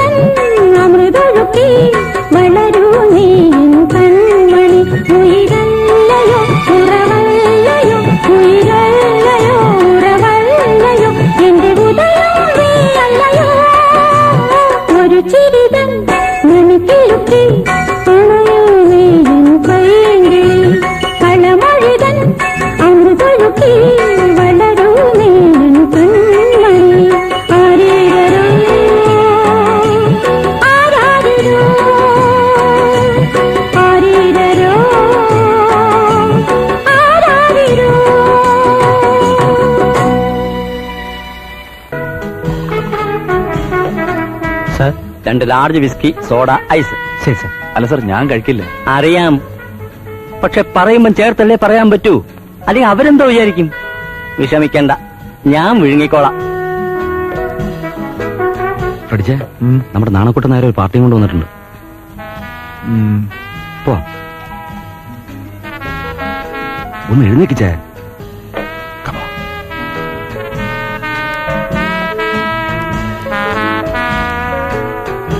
Hello sir. കുറെ നാളുകളായല്ലോ കണ്ടിട്ട്. കാണണമെന്ന് നിങ്ങൾക്ക് ആഗ്രഹമില്ലാഞ്ഞിട്ടല്ലേ by the by mister Raveendran എന്റെ കൊളീഗാണ് mister Freddy hello Felix hello Steve hello hello Alexander മുതലാളി എന്ന് കേട്ടിട്ടില്ലേ? ഈ നാട്ടിലെ ഏറ്റവും വലിയ ഗൺസിൽ ഒരാളാ. അദ്ദേഹത്തിന്റെ മക്കളാ. മിസ്റ്റർ രവീന്ദ്രനെ ആദ്യമായിട്ട് കാണുകയാണ്. വിശദമായിട്ട് പരിചയപ്പെടാൻ സമയം കിട്ടിയില്ല. ആകാമല്ലോ ഇനിയും. യു ആർ റൈറ്റ് ഒരു സ്മോൾ താങ്ക് യു ഈ ടേബിളിലെ ബില്ല് ഞങ്ങളുടെ അക്കൗണ്ടിൽ ഇട്ടേക്കും. ശരി sir thank you thank you thank you okay bye bye bye bye bye വല്ലവരുടെയും treat നമ്മൾ സ്വീകരിക്കുന്ന മോശമല്ലേ sir I don't think it's correct ഈ ടേബിളിലെ വലിയ നമുക്ക് പേ രവീന്ദ്ര താൻ പലതും പഠിക്കാനിരിക്കുന്നേ ഉള്ളൂ. Leave this to me I know it better ആദർശം പെട്ടിയിൽ വെച്ച് പൂട്ടിയാലേ ഈ ലോകത്ത് ജീവിക്കാൻ പറ്റൂ. Try to leave accordingly I'm sorry sir I beg to differ വെറും ഒരു ബില്ല് പേ ചെയ്യാൻ ഇത്രയും വലിയ ധാർമ്മിക ഡിസെൻട്രി വേണോടാ കൊച്ചനെ. അപ്പോ നീ ഇവിടുത്തെ ശരിക്കുള്ള കഥകൾ കേട്ട തലകറങ്ങി വീഴുമല്ലോ? ഏ? ബാരർ ഒരു ഡബിൾ നോട്ട്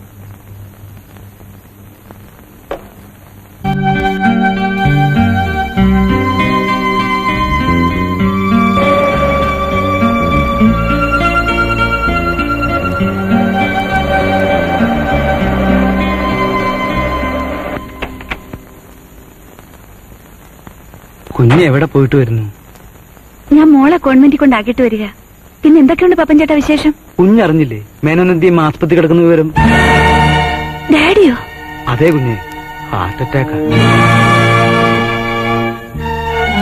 കുറച്ച് കൂടുതലായി പോയി എങ്ങനെയാ? കുഞ്ഞ് ഇറങ്ങി പോകുന്നേ പിന്നെ മുന്നും പിന്നും നോക്കാത്ത കുടിയല്ലേ? ഒരാളെയും വകവയ്ക്കാത്ത പ്രകൃതം. ഏത് ഹോസ്പിറ്റലിലെ പപ്പൻ ചേട്ടാ? മെഡിക്കൽ സെന്ററിൽ.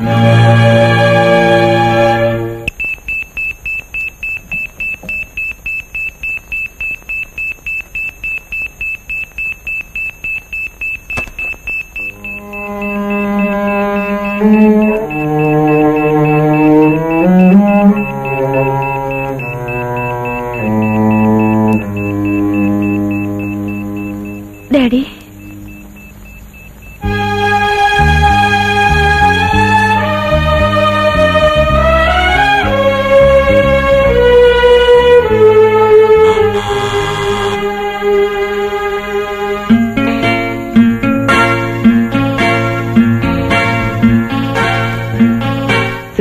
ജനറൽ വാർഡോ അതോ ഇന്റൻസി കയറി വിളിച്ചോ? എന്താ സാർ? ഇവിടെ നിങ്ങൾ പറയുന്ന വാടക എന്തെന്ന് കിടക്കുന്നത് ആര് ശല്യപ്പെടുത്താതിരിക്കാനും ചികിത്സ ലഭിക്കാനും വേണ്ടിയാ. ഞാൻ വിചാരിച്ചു നിങ്ങളുടെ വിചാരത്തിന്റെ സൗകര്യത്തിനാണ് ഞാനിവിടെ കിടക്കുന്നത്? Sorry sir visitors not allowed എന്നുള്ള ബോർഡ് തൂക്കാൻ എന്താ മറന്നുപോയോ?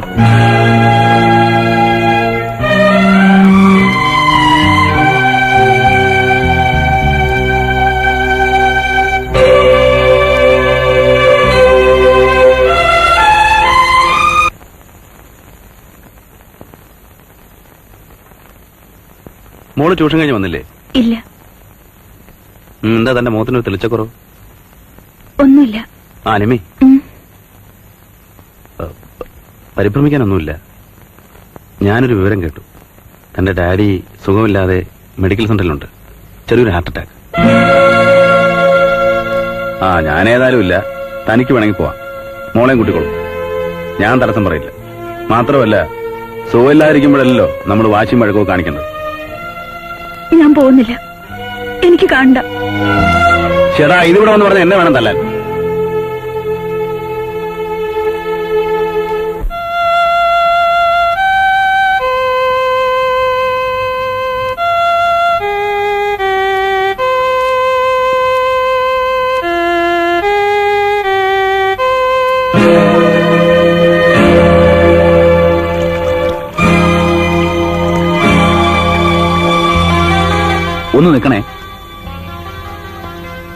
മേരിക്കുട്ടിയല്ലേ?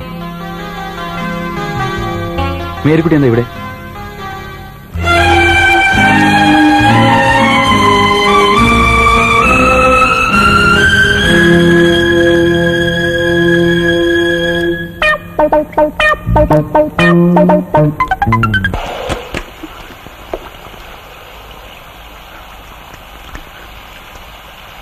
നിങ്ങൾ എന്തിനാ ഇവിടെ വന്നത്? മേരിക്കുട്ടി എന്താ ഇത്? എന്നെ മനസ്സിലായില്ലേ? മനസ്സിലായി. പിന്നെ എന്തിനാ എന്നെ കണ്ടപ്പോ ഓടി മറിഞ്ഞത്? എന്റെ ജീവിതം തകർത്ത നിങ്ങൾ പിന്നെ എന്തിനെ പുറകെ ഇങ്ങനെ വരുന്നെന്ന് മനസ്സിലാകാത്തോണ്ട്? ഞാൻ നിന്റെ ജീവൻ തകർത്തുന്നു. നീ എന്തൊക്കെയാ മേരിക്കുട്ടി പറയുന്നത്? സത്യം. എന്റെ ഭർത്താവിനെ അറസ്റ്റ് ചെയ്തപ്പോ നിങ്ങൾക്ക് എന്തെല്ലാം നേട്ടങ്ങൾ കിട്ടി? നിന്റെ ഭർത്താവിനെ അറസ്റ്റ് ചെയ്തെന്നോ ആര് ഞാനോ? അതെ. നിങ്ങൾ അറസ്റ്റ് ചെയ്ത ഹംസയെ ഇത്ര വേഗം മറന്നുപോയോ? ഹംസ മേരിക്കുട്ടിയുടെ ഭർത്താവാണോ? അറിയില്ലെന്ന് നിരപരാധിത്വം നടിക്കാവും നിരപരാധിത്വം നടിക്കേണ്ട കാര്യം എനിക്കില്ല. ഹംസ അറസ്റ്റ് ചെയ്ത ഞാനാണ്. പക്ഷേ ഹംസ മേരിക്കുട്ടിയുടെ ഭർത്താവാണെന്നുള്ള വിവരം എനിക്കറിയില്ലായിരുന്നു അറിഞ്ഞിരുന്നെങ്കിൽ? ഒരു സംശയവും വേണ്ട. അറിഞ്ഞിരുന്നെങ്കിൽ കൂടി ഞാൻ ഇതന്നെ ചെയ്യുമായിരുന്നു. കാരണം ഞാൻ ചെയ്തത് എന്റെ ജോലിയാണ്. കള്ളക്കടത്ത് നടത്തുന്നവരും അതിന് കൂട്ടുനിൽക്കുന്നവരും നിയമത്തിന്റെ മുമ്പിൽ ഒരുപോലെ ശിക്ഷാർഹരാണ്. അവരെ പിടിക്കാനാണ് എന്റെ ജോലി. എന്റെ ഹംസക്ക എങ്ങനെ ഇതിൽ പെട്ടു എന്നറിയോ നിങ്ങൾക്ക്? ഒരു പ്രൈവറ്റ് കോളേജിൽ ലെക്ചറായിരുന്നു ഹംസക്ക വിദ്യാർത്ഥിനെ അവിടെ ചെന്ന് ഞാൻ ആ ലെക്ചറെ സ്നേഹിച്ചു. പക്ഷേ ഞങ്ങളുടെ ബന്ധത്തെ അപ്പച്ചൻ എതിർത്തു. ഒടുവിൽ എന്റെ അപ്പച്ചനെ ധിക്കരിച്ച് ഞങ്ങൾ രണ്ടുപേരും ഒളിച്ചോടി പോന്നു. ഇവിടെ ഞങ്ങൾക്ക് ഒരു ജോലിയും കിട്ടിയില്ല. പാവം ഒരു ജോലിക്ക് വേണ്ടി തെണ്ടാത്ത വാതിലുകളില്ല. ഒടുവിൽ എല്ലാ മാർഗങ്ങളും അടഞ്ഞപ്പോൾ നല്ലവനായ മൊയ്തുക്കെയാണ് ഒരു വഴി കാട്ടിയത്. അത് തെറ്റോ ശരിയോ നോക്കിയില്ല.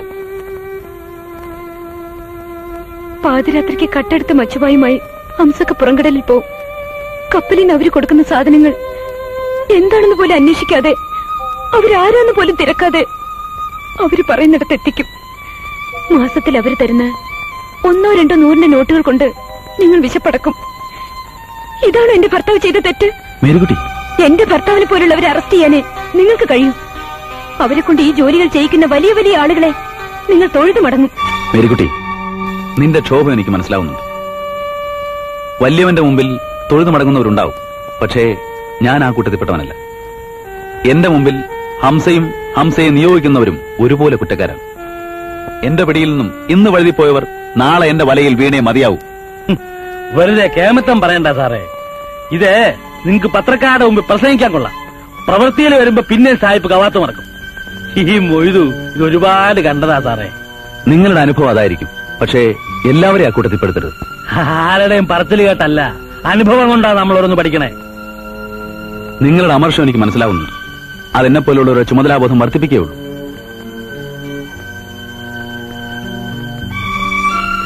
മേരിക്കുട്ടി നിനക്ക് ഇങ്ങനെ സംഭവിക്കരുതായിരുന്നു. എങ്ങനെയോ സംഭവിച്ചു സംഭവിച്ചുപോയി എനിക്കതിൽ ദുഃഖമുണ്ട്. കുറ്റബോധം കൊണ്ടല്ല സഹതാപം കൊണ്ടുള്ള ദുഃഖം. ഹംസ തിരിച്ചു വരുന്നതുവരെ നിനക്ക് അപ്പച്ചന്റെ കൂടെ പോയി താമസിച്ചൂടെ? മേരിക്കുട്ടി ഹംസന്റെ കൂടെ ഇറങ്ങിപ്പോന്ന സങ്കടം മൂത്ത് ആദ്യമായിട്ട് മൂപ്പര് വയ്യത്തായില്ലേ? വർഗീസ് മാസ്റ്റർ മരിച്ചെന്നോ? ഞാൻ അറിഞ്ഞില്ല മരിക്കുട്ടി?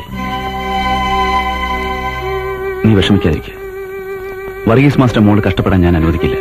അനുവദിച്ചുകൂടാ എന്റെ ശമ്പളത്തിന്റെ ഒരു ഓഹരിക്ക് നിനക്ക് എന്നും അവകാശമുണ്ടാവും. വേണ്ട.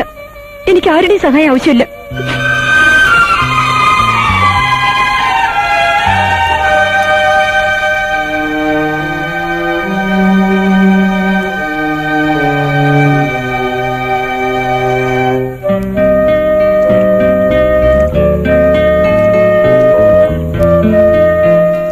മേരിക്കുട്ടിയുടെ കുടുംബത്തിനോടും അപ്പച്ചനോടും എനിക്ക് തീർത്താ തീരാത്ത കടപ്പാടുണ്ട്.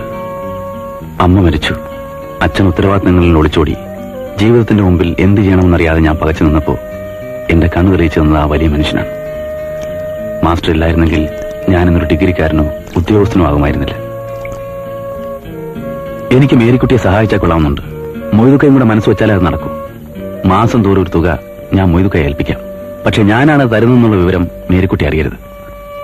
പഴയ കാലത്തെ കടപ്പാടുകൾ ഇപ്പോഴും ഓർക്കണമെന്ന് നിർബന്ധമുള്ള നിങ്ങളുടെ മനസ്സ് നമുക്ക് കാണാൻ സാറേ. ഇരു ചെവി അറിയാണ്ട് നമ്മൾ ചെയ്യാം. ഈ ഉപകാരം ഒരു കാലത്തും ഞാൻ മറക്കില്ല. ഉപകാരം ചെയ്യുന്ന സാറാണ് നമ്മളല്ല. ഒന്നോർക്കുമ്പോ സാറിനോട് ഇത്രയും ദേഷ്യവും പകയും കാണിച്ചതേ പോഴത്തരമാണ് സാറെ മനസ്സിന്റെ ദണ്ണം കൊണ്ട് കടുപ്പിച്ചു തലവും പറഞ്ഞു പോയെങ്കിൽ വിവരക്കേടാണെന്ന് കരുതിയാ മതി. മനസ്സിൽ വെക്കരുത്. ഇല്ല മയൂക്ക് നീ എന്ത് ആവശ്യമുണ്ടെങ്കിലും ചോദിക്കാൻ പഠിക്കരുത് ഞാൻ വരട്ടെ.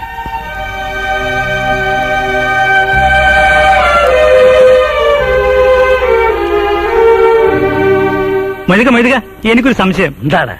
ഹംസനെ പിടിച്ച ആ കസ്റ്റംസുകാരൻ ചെറുപ്രായം മാറാത്ത മേരിക്കുട്ടിയോട് വഴിയിൽ വെച്ച് ഒറ്റയ്ക്ക് വർത്തമാനം പറയണമെങ്കിൽ ഉറപ്പാണ് ഇതിൽ എന്തെങ്കിലും ഡിങ്കിങ് ഉണ്ട്. എടാ ഷെയ്ത്താന്റെ മോനെ ഇല്ലാവാനും പറഞ്ഞാൽ നിന്റെ നാവ് പുഴുത്തു പോകും. അടിച്ചു നിന്റെ കണ്ട കാര്യം മനസ്സിൽ തോന്നില്ല തുറന്നു പറഞ്ഞാൽ അപ്പ കിട്ടും. ഇത് എവിടെ ന്യായമാ എന്ന് വിചാരിച്ച് എനിക്ക് പറയാതിരിക്കാൻ നോക്കൂ ഞാൻ പറയും ഇനിയും പറയും. അല്ലേ?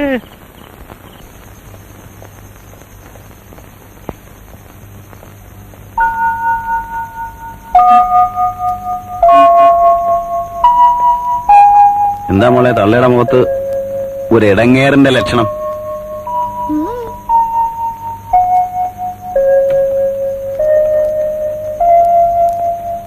ഉം.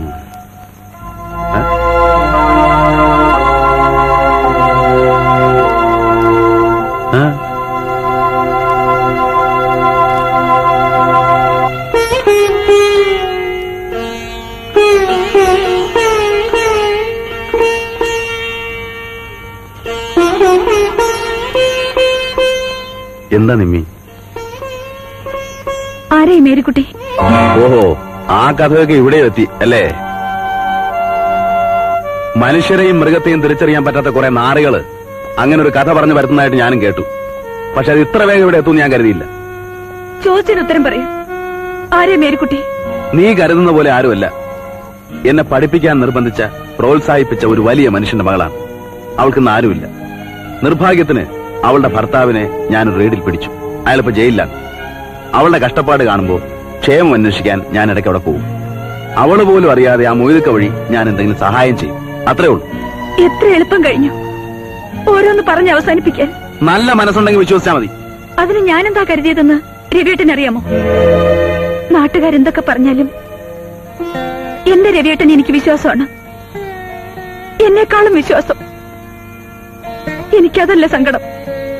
ഇങ്ങനൊരാളെ സഹായിക്കുന്നുണ്ടെന്ന വിവരം ഇത്രയും നാൾ എന്നോടെന്തേ പറയാഞ്ഞത്? പറഞ്ഞാൽ ഞാൻ വിശ്വസിക്കില്ലെന്ന് കരുതിയല്ലേ?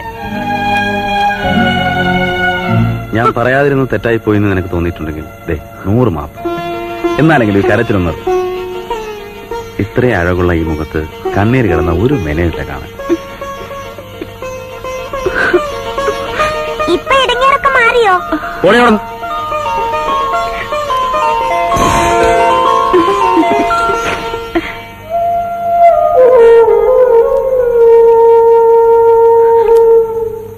വജ വിചാരിക്കാത്ത കാര്യങ്ങളാ.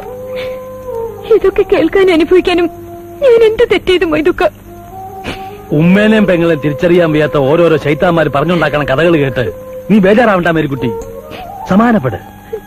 രവീന്ദ്ര സാർ ഇതറിഞ്ഞാൽ എനിക്കൊരു ചുക്കും തോന്നില്ല. എന്തെങ്കിലും തോന്നേണ്ടത് ഇവൾക്കാണ് എന്റെ ഭാര്യയ്ക്ക്. എന്നെ മറ്റാരെക്കാളും കൂടുതൽ ഇവൾക്കറിയാം. ഇവൾക്ക് എന്റെ വിശ്വാസമാണ്. പോരെ. പിന്നെ നാട്ടുകാര്. പോവാൻ പറ അവരോട്. തീ ഇല്ലാത്തത് നീറ്റി നീറ്റി പുകയുണ്ടാക്കാൻ നടക്കുന്നവരാ ഇവിടെ ഉള്ളവന്മാര്.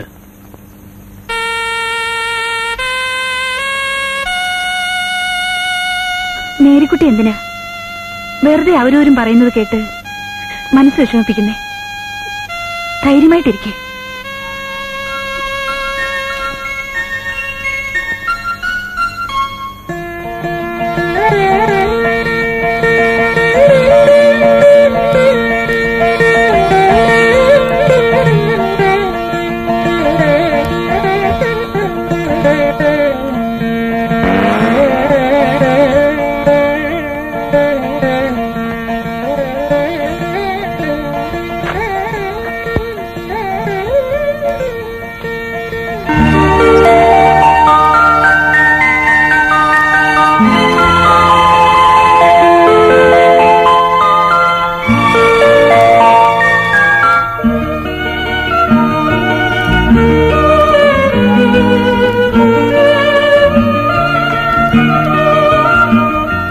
മുത്തച്ഛന്റെ അസുഖം എങ്ങനെയാണെന്ന് ചോദിക്കുമോളെ അസുഖം എങ്ങനെയുണ്ട് മുത്തശ്ശ? ഹോസ്പിറ്റലിൽ വന്ന് കാണാതിരുന്നത് ക്ഷോഭം മൂലം അസുഖം കൂടണമെന്ന് കരുതിട്ട ഇപ്പൊ എങ്ങനെയുണ്ട്? കുറവുണ്ടാവല്ലോ അല്ലേ? എടാ പാപ്പാ സ്വൈരമായിട്ട് അമ്പലത്തിൽ ഒന്നും തൊഴാനും വയ്യുന്നായല്ലോ.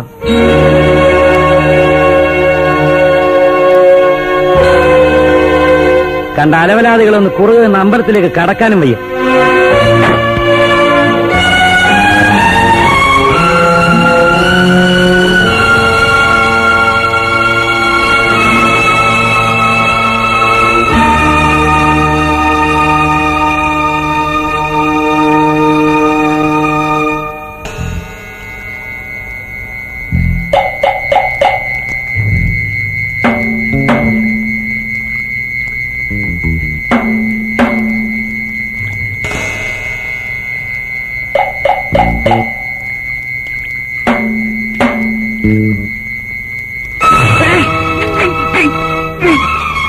ഒഴിഞ്ഞു നോക്കണ്ട. താൻ ആരാണെന്ന് എനിക്കറിയാം. ചോദിക്കുന്നതിന് കൃത്യമായിട്ട് ഉത്തരം പറയണം. എന്ത് ഉത്തരം പറയും എനിക്കൊന്നും അറിഞ്ഞൂടാ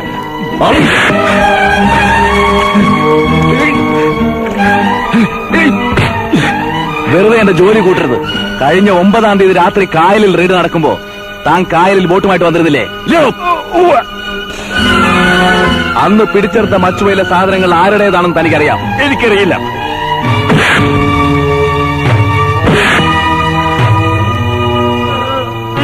സത്യം പറഞ്ഞാൽ തനിക്ക് രക്ഷപ്പെടാം. കഴിഞ്ഞു ഞാൻ പറയാം. അലക്സാണ്ടർ മുതലാളിയുടെ.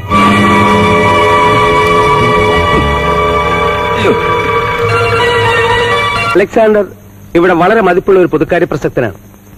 വ്യക്തമായ എവിഡൻസുകൾ ഇല്ലാതെ അയാളെ സംശയിക്കുന്നതും സെർച്ച് നടത്തുന്നതും ബുദ്ധിയല്ല മിസ്റ്റർ രവീന്ദ്രൻ. അറിയാം സാർ പക്ഷെ എനിക്ക് വ്യക്തമായ ഉറപ്പുണ്ട് അലക്സാണ്ടർ റാക്കറ്റിനെ പറ്റിയുള്ള കംപ്ലീറ്റ് വിവരങ്ങളും ശേഖരിക്കാൻ കഴിയുമെന്ന്. നിങ്ങൾക്ക് അത്ര ബോധ്യമുണ്ടെങ്കിൽ വെൽ ദെൻ പ്രൊസീഡ് ഒരേ സമയത്ത് ബംഗ്ലാവും ഓഫീസും റെയ്ഡ് ചെയ്യാനുള്ള പെർമിഷൻ വേണം. ഗ്രാൻഡഡ്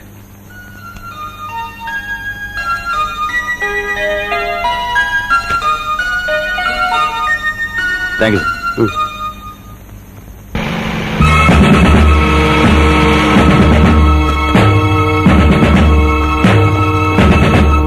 ഇതാ ഇമ്പീരിയൽ എക്സ്പോർട്ടേഴ്സിന്റെ വൗച്ചറാ കണ്ടു കാണുമല്ലോ.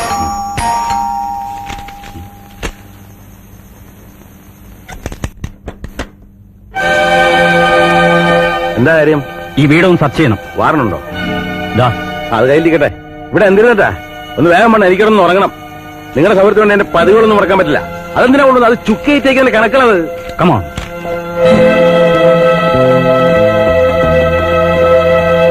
മാറിയേക്കെ ഓ മുകളിൽ പരിശോധിക്കണമായിരിക്കും. ബേഞ്ചല്ലേ ആ നോക്കി പേടിപ്പിക്കല്ലേ?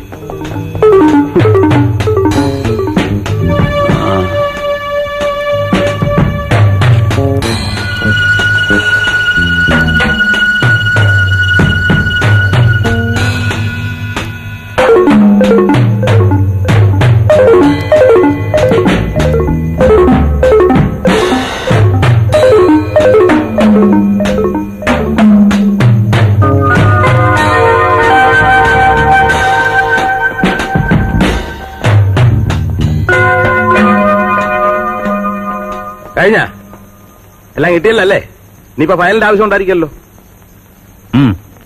വലിയ ഉപകാരം. സമൂഹത്തിൽ മാനമര്യാദ ജീവിക്കുന്നവരെ അപമാനിക്കാനുള്ള ശ്രമമാണല്ലേ? ഇതിനുള്ള മാർഗം ഞാനും നോക്കാം. മോനെ സീപ്പോ എന്താ വക്കീലിന് ഫോൺ ചെയ്തേ. ഞങ്ങൾ ഞങ്ങൾ ഡ്യൂട്ടിയാണ് ചെയ്തത്. Come on hello? വക്കീൽ സാറല്ലേ? ഞാൻ സീഫനാ അപ്പന്റെ കൊടുക്കാം. അച്ഛന് പെർമിഷൻ ചോദിച്ചപ്പോഴേ ഞാൻ തന്നെ വാൺ ചെയ്തതാണ്. സൊസൈറ്റിയിൽ ഉയർന്ന സ്റ്റാറ്റസോടെ ജീവിക്കുന്നവരെ നേരെ കരുതലോടെ വേണം നീങ്ങാനെന്ന്. ഞാൻ ഇനി എത്ര പേരുടെ ചോദ്യങ്ങൾക്ക് ഉത്തരം പറയണം? സോറി സർ ബംഗ്ലാവിലും ഓഫീസിലും ഒരേ സമയം സെർച്ച് ചെയ്യണമെന്ന് ആവശ്യപ്പെട്ടത് ഒന്നും പിടിച്ചെടുക്കാൻ കഴിയില്ലെന്ന് ഊഹിച്ചുകൊണ്ട് തന്നെയാണ്? പക്ഷെ ആ സമയത്ത് അലക്സാണ്ടറുടെയും മക്കളുടെയും ശ്രദ്ധ അവിടെ പിടിച്ചു നിർത്താൻ അത് ആവശ്യമായിരുന്നു. Do you mean? അവിടെ സെർച്ച് നടന്ന സമയം ഞാൻ അലക്സാണ്ടറുടെ പൂട്ടിക്കിടന്ന ഗോഡൌണിന്റെ ഓഫീസ് പരിശോധിക്കുകയായിരുന്നു. അവിടെ നിന്ന് കിട്ടിയതാണ് ഈ ബ്രീഫ് കേസ് സ്മഗ്ലിംഗ് റാക്കറ്റ് പരിശോധിക്കാൻ ചെന്ന ഞാൻ ഈ ബ്രീഫ് കേസിൽ കണ്ടത് ഹാർബറിന്റെയും നേവൽ ബേസിന്റെയും എയർപോർട്ടിന്റെയും ബ്ലൂ പ്രിന്റുകളാണ് അലക്സാണ്ടർക്ക് സ്മഗ്ലിങ്ങിനേക്കാൾ ദേശദ്രോഹപരമായ ചാരവൃത്തിയുമായി ബന്ധമുണ്ടെന്നാണ് എന്റെ വിശ്വാസം.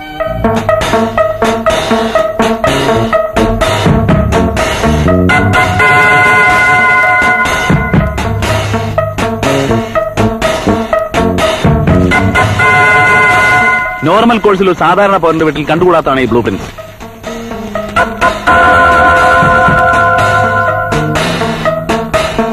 My God. You have done a big job, my boy.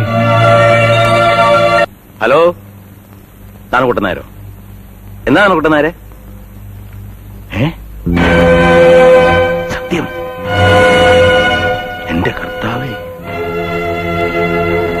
ശരി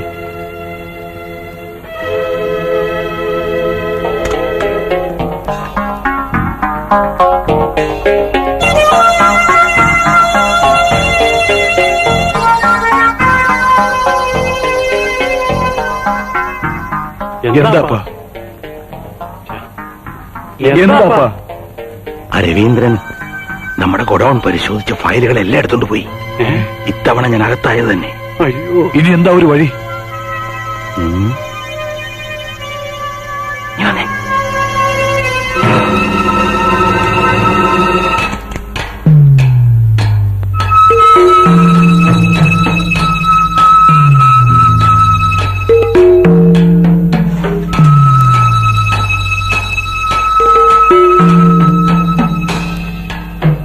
അയാളെ കാണുന്നില്ലല്ലോ.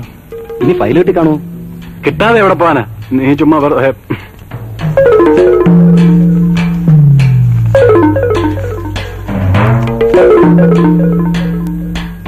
ഇവിടെ കാണുന്നില്ലല്ലോ. ഞാൻ വരുന്നുണ്ട്. എന്താ എന്തായി? ഞാനിനി നോക്കാനായിട്ട് ഒരു സ്ഥലവുമില്ല. അയ്യോ കാര്യം കുഴപ്പമാവുമല്ലോ. ആ ബ്ലൂ പ്രിന്റ് കിട്ടിയില്ലെങ്കിൽ അപ്പൻ ഒരു വഴിയെ ഞാൻ കാണുന്നു. ആ രവീന്ദ്രനെ വളയ്ക്കാം. പ്രാവേ പ്രാവേ പോകരുതേ. ബാബ കൂട്ടിനകത്താക്കാം. പാലും പഴവും പോരെങ്കിൽ ചോറും കറിയും ഞാൻ നൽകാം. പാലും പഴവും ഞാൻ നൽകാം. എവിടെ നോക്കിയാ പാഠം ചൊല്ലുന്നത്?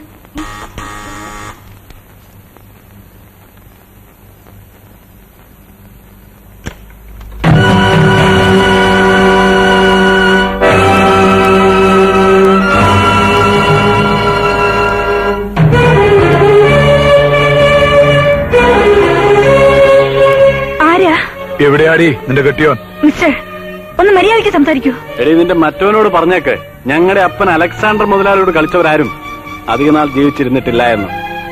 കുറച്ചു കാലവും കൂടി സുന്ദരിയായ ഭാര്യയോടൊത്ത് കഴിയണമെന്ന് ആഗ്രഹം ഉണ്ടെങ്കിൽ അവന്റെ ആദർശങ്ങളൊക്കെ അങ്ങ് പോക്കറ്റ് ഇട്ടേക്കാൻ പറ. ഏ? ഇനിയും ഞങ്ങൾ ഇങ്ങോട്ട് വരുത്തരുതെന്ന് അവനോട് പറഞ്ഞേക്ക് ഓക്കെ? നല്ല ചരക്കച്ചായ വരാൻ.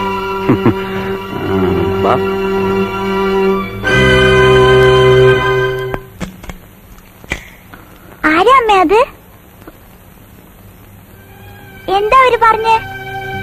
ഒന്നുമില്ല. പിന്നെ എന്തിനാ അമ്മ അവർ വഴക്ക് പറഞ്ഞത്?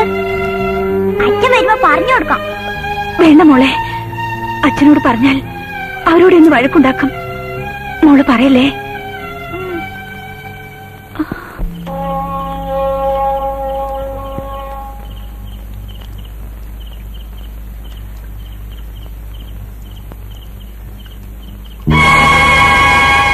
രവീന്ദ്ര സാറല്ലേ?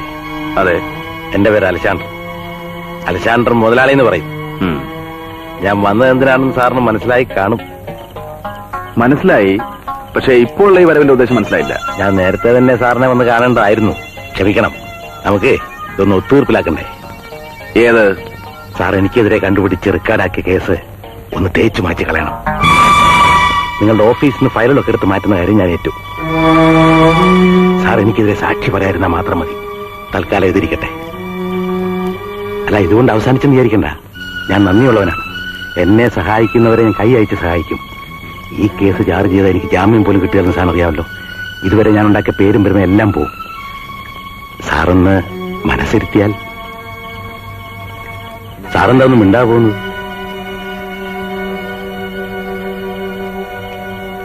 നിങ്ങൾ പറഞ്ഞ വർത്തമാനത്തിന് കൈകൊണ്ടാണ് മറുപടി പറയേണ്ടത്.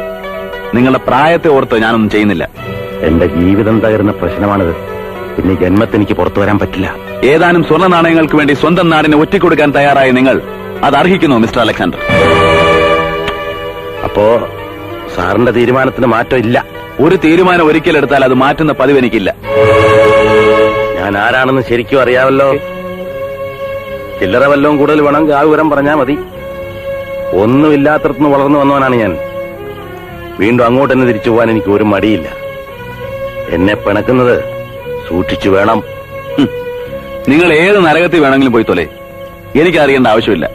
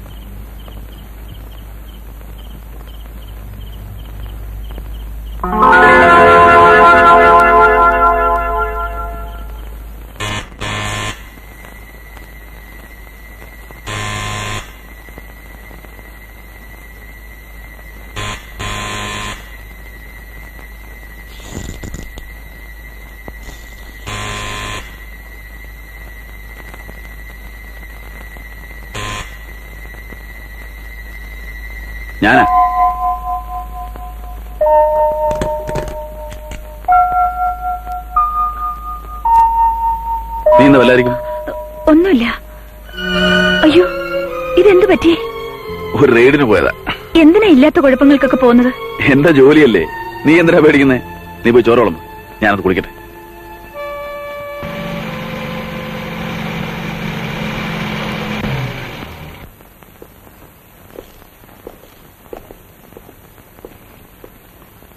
എന്താ ഇൻസ്പെക്ടർ? Sorry mister Raveendran. നിങ്ങളെ അറസ്റ്റ് ചെയ്തിരിക്കുന്നു. എന്തിന്? അലക്സാണ്ടർ മുതലാളിയെ കൊന്ന കുറ്റത്തിന്. ഞാനോ? അതെ. ഇൻസ്പെക്ടർ ഞാൻ? നിങ്ങൾക്ക് എന്തെങ്കിലും പറയാനുണ്ടെങ്കിൽ സ്റ്റേഷനിൽ വന്നിട്ട് പറയാം.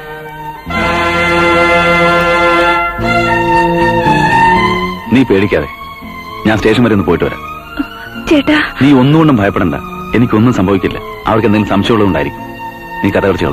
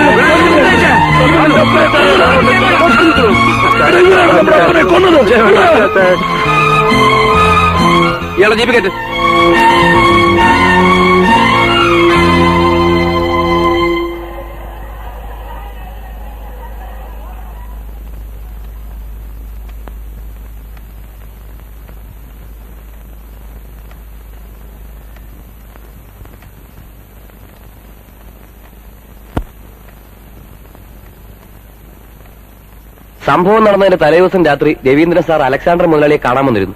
അവർ തമ്മിൽ ഉന്തും തള്ളും വാക്കേറ്റവും നടന്നു. രണ്ടുപേരിൽ ആരെങ്കിലും ഒരാളെ അവശേഷിക്കൂ എന്ന് പറഞ്ഞാണ് അവർ പിരിഞ്ഞത്.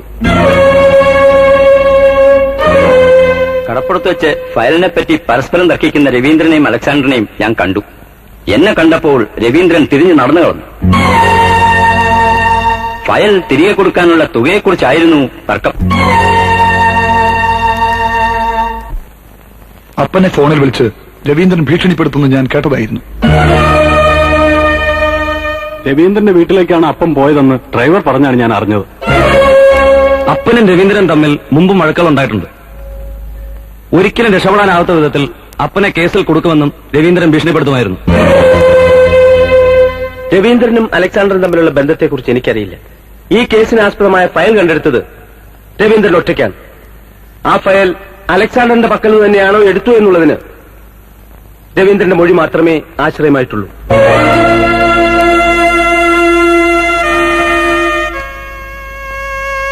പ്രതിക്ക് അവസാനമായി ഈ കേസിനെ കുറിച്ച് എന്തെങ്കിലും പറയാനുണ്ടോ? അലക്സാണ്ടറിന്റെ കൊലപാതകവുമായി എനിക്ക് യാതൊരു ബന്ധവുമില്ല. അതിനെക്കുറിച്ച് യാതൊന്നും എനിക്കറിയില്ല. ഞാൻ നിരപരാധിയാണ്. പ്രതി കുറ്റം സമ്മതിച്ചിട്ടില്ലെങ്കിലും തെളിവുകളെല്ലാം പ്രതി കുറ്റക്കാരനാണെന്ന് സംശയാതീതമായി തെളിഞ്ഞിരിക്കുന്നു.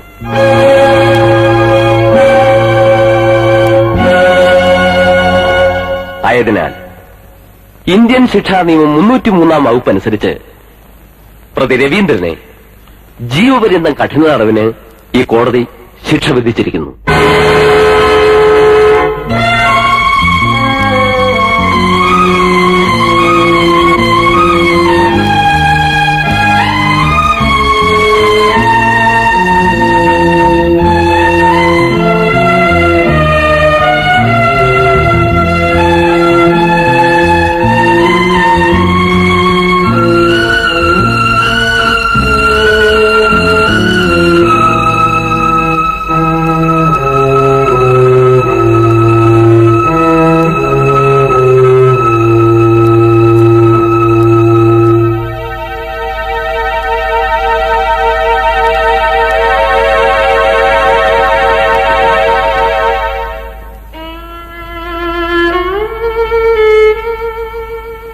കരയാതിരിക്കും നിമ്മി.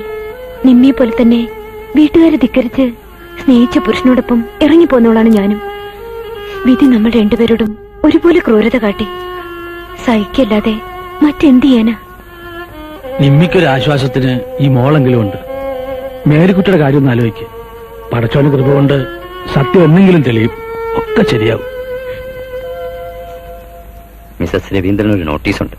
ഡിപ്പാർട്ട്മെന്റിൽ നിന്നാ. അത് തരാനാണ് ഞാൻ വന്നത്.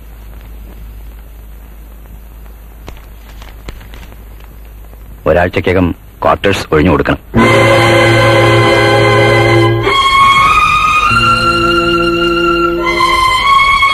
കളക്ടറുടെ ഓർഡറാണ്. ഞാൻ ഇറങ്ങട്ടെ.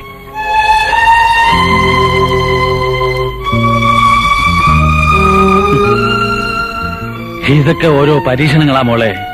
പക്ഷെ പതറാണ്ട് പിടിച്ചു നിൽക്കുന്നിടത്ത് ആ മിടുക്ക്. ഈ വീട്ടിൽ നിന്ന് ഇറങ്ങിക്കൊടുക്കാൻ ഒരാഴ്ച ഒന്നും കാക്കണ്ട. അങ്ങനെ ആരുടെ സൗജന്യവും വേണ്ട. അർഹതയില്ലാത്തടത്ത് പിന്നെ ഒരു നിമിഷം നിന്നൂടാ. നമ്മളൊക്കെ ഇല്ലേ നിന്റെ കൂടെ? നിമ്മിക്ക് എന്റെ കൂടെ താമസിക്കാൻ വല്ല മൊയ്തുക്ക. മേരിക്കുട്ടി പറഞ്ഞതാ അതിന്റെ ശരി. ചീത്തക്കാലം വരുമ്പോ ആരെങ്കിലും സഹായത്തിനുണ്ടെന്ന് തോന്നുന്നത് തന്നെ ഒരു വലിയ കാര്യ.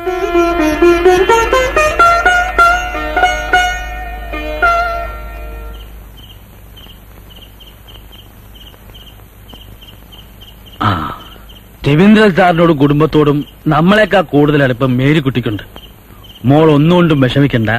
ഇത് സ്വന്തം വീടാന്ന് കരുതിക്കോ. ഒന്നുമില്ലേലും ഒരേ സങ്കടമുള്ളവർ ഒന്നിച്ചു കഴിഞ്ഞാൽ അത് തന്നെ ഒരു ആശ്വാസ. ആ നിങ്ങൾ വല്ലതും കഴിച്ച് കഥ കടച്ച് കിടന്നോ. ആ.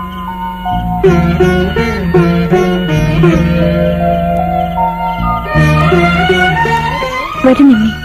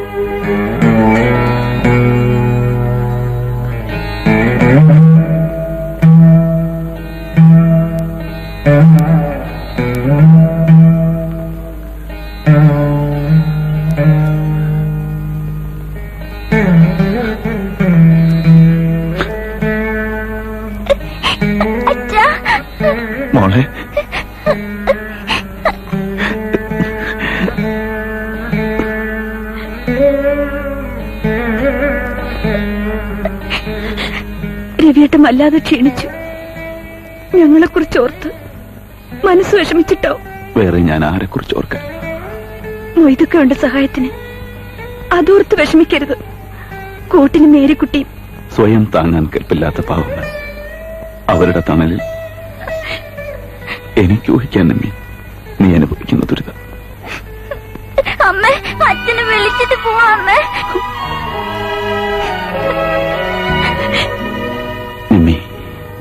ശിക്ഷ കഴിഞ്ഞ് പുറത്തു വരാൻ പന്ത്രണ്ട് വർഷമെങ്കിലും കഴിയും.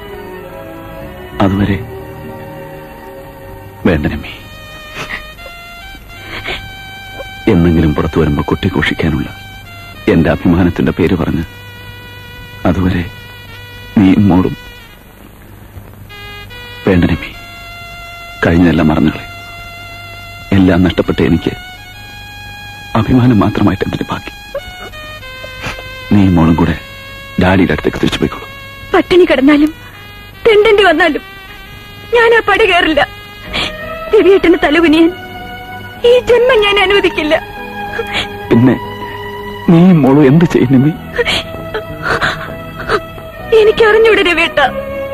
എനിക്കറിഞ്ഞൂടാ.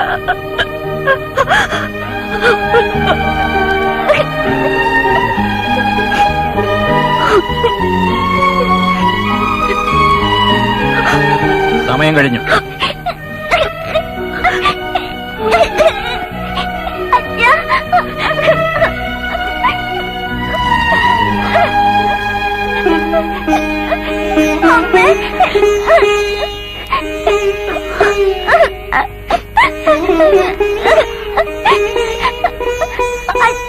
വീട്ടിൽ പോ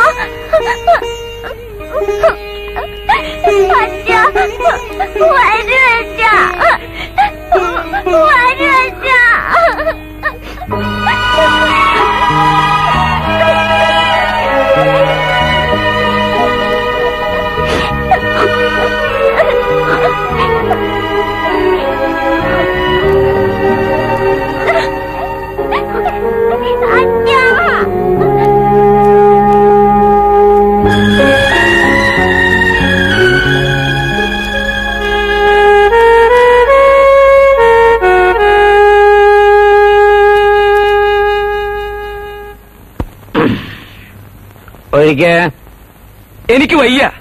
ഇനി മതിയാക്ക്. ആരെ തോൽപ്പിക്കാനായി കുടി? പപ്പാ ഉപദേശിക്കാൻ എന്ത് അവകാശമെന്ന് ചോദിച്ച് എന്നെ വേണേ രണ്ട് തല്ലിക്കോ.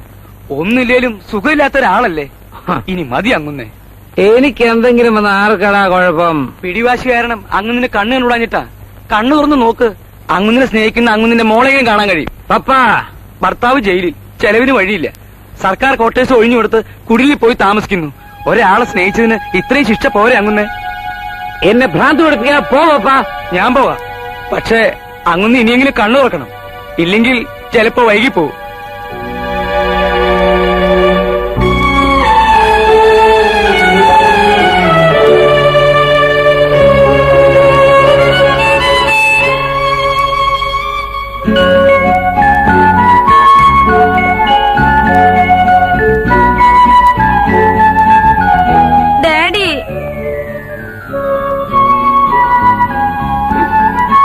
എന്താ മോളെ?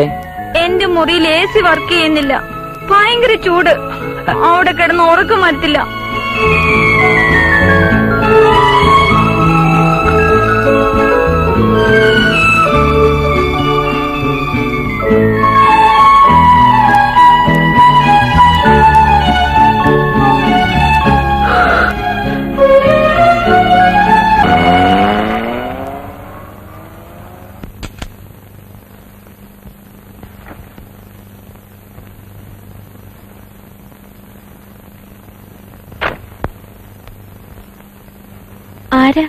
നിമ്മിയുടെ ഡാഡി അവളെ ഒന്ന് കാണണമായിരുന്നു.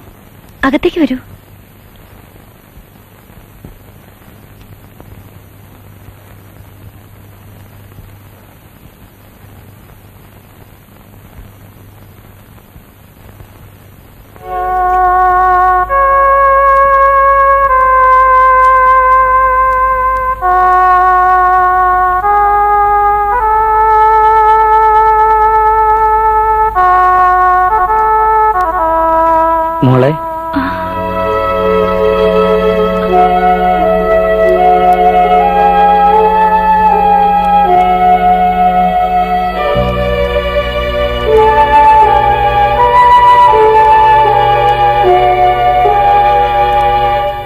കഴിഞ്ഞതൊക്കെ മറക്ക്. തെറ്റും ശരിയും ആരുടേതുമാകട്ടെ. മോൾ അച്ഛനോട് ക്ഷമിക്ക്. നിന്റെ ഇപ്പോഴത്തെ നില കാണുമ്പോൾ ഞാൻ ആകെ തളർന്നു പോകുന്നു. വരൂ നമുക്ക് വീട്ടിലേക്ക് പോവാം.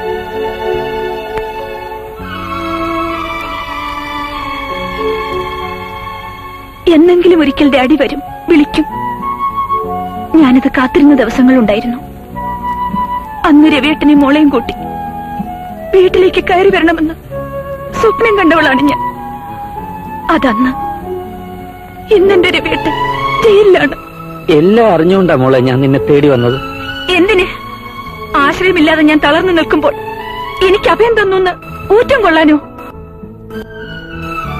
പ്രിയമോൾ ജനിച്ച വിവരം പറയാൻ രവീട്ടൻ കയറി വന്നപ്പോൾ ഡാഡിയുടെ രോഗവിവരം അറിയാൻ ഓടിക്കിതച്ച് ഞാൻ വന്നപ്പോൾ അമ്പലമുറ്റത്ത് വെച്ച് ഞങ്ങൾ ഒരുമിച്ച് ഡാഡിയെ കണ്ടപ്പോൾ ഇല്ല ഡാഡി അതൊന്നും എനിക്ക് മറക്കാനാവില്ല. മോളെ. ജയിലിലാണെങ്കിലും എന്റെ ഭർത്താവ് അഭിമാനിയാണ്. ആ അഭിമാനത്തിന് മുറിവേൽക്കാൻ ഞാൻ അനുവദിക്കില്ല. ആരോരും ഇല്ലാത്ത കൊച്ചു കുഞ്ഞിനെയും കൊണ്ട് നീ എവിടെ പോകും? പണവും പ്രതാപവും ഇല്ലെങ്കിലും അതിനേക്കാൾ വലിയ ഹൃദയമുള്ള കുറെ പാവം മനുഷ്യരുണ്ട് ഇവിടെ. ഡാഡിയുടെ കൊട്ടാരത്തിലെ അഭയത്തെക്കാളും എനിക്ക് ആശ്വാസം. ഈ കുടിലിലെ തണലാണ്. വാ മോളെ. മോളെ. എന്നോടൊപ്പം വരില്ലെങ്കിൽ വേണ്ട.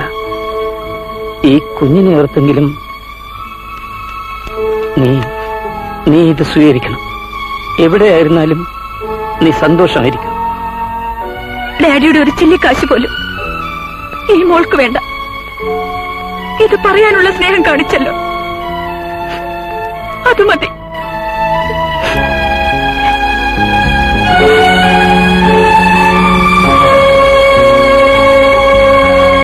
എന്താടാ കുട്ടി ഇതെന്താടാ പതിവില്ലാണ്ടൊരു ഇരിപ്പ് ആ പാടെ വാരിക്കൊഴിഞ്ഞ് ഏതാണ്ട് മുട്ടക്കച്ചവടത്തിൽ തട്ടം വന്ന കൂട്ട്? എന്താടാ മോനെ? ഒന്നും പറയണ്ട മൊയ്തുക്ക.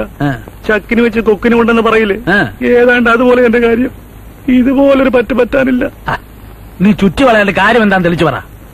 മൊയ്തുക്ക എന്റെ തൊട്ട അയൽവക്കത്തെ ലാസറിയായിട്ടൊരു മകനുണ്ട്. ഒരു കോളേജ് പോവാലും അവൻ ഓരോന്നും പറഞ്ഞ് എപ്പോഴും എപ്പോഴും വീട്ടിൽ വരും. അയൽവക്കൊല്ലെന്ന് കരുതി ഞാനത് കാര്യമാക്കിയില്ല. അവനൊന്ന് വന്നു വെച്ചിപ്പോ എന്താ? എന്ന് തന്നെ ഞാനും കരുതിയേ. എന്റെ മൊയ്തുക്ക പുറത്തു പറയാൻ ആ.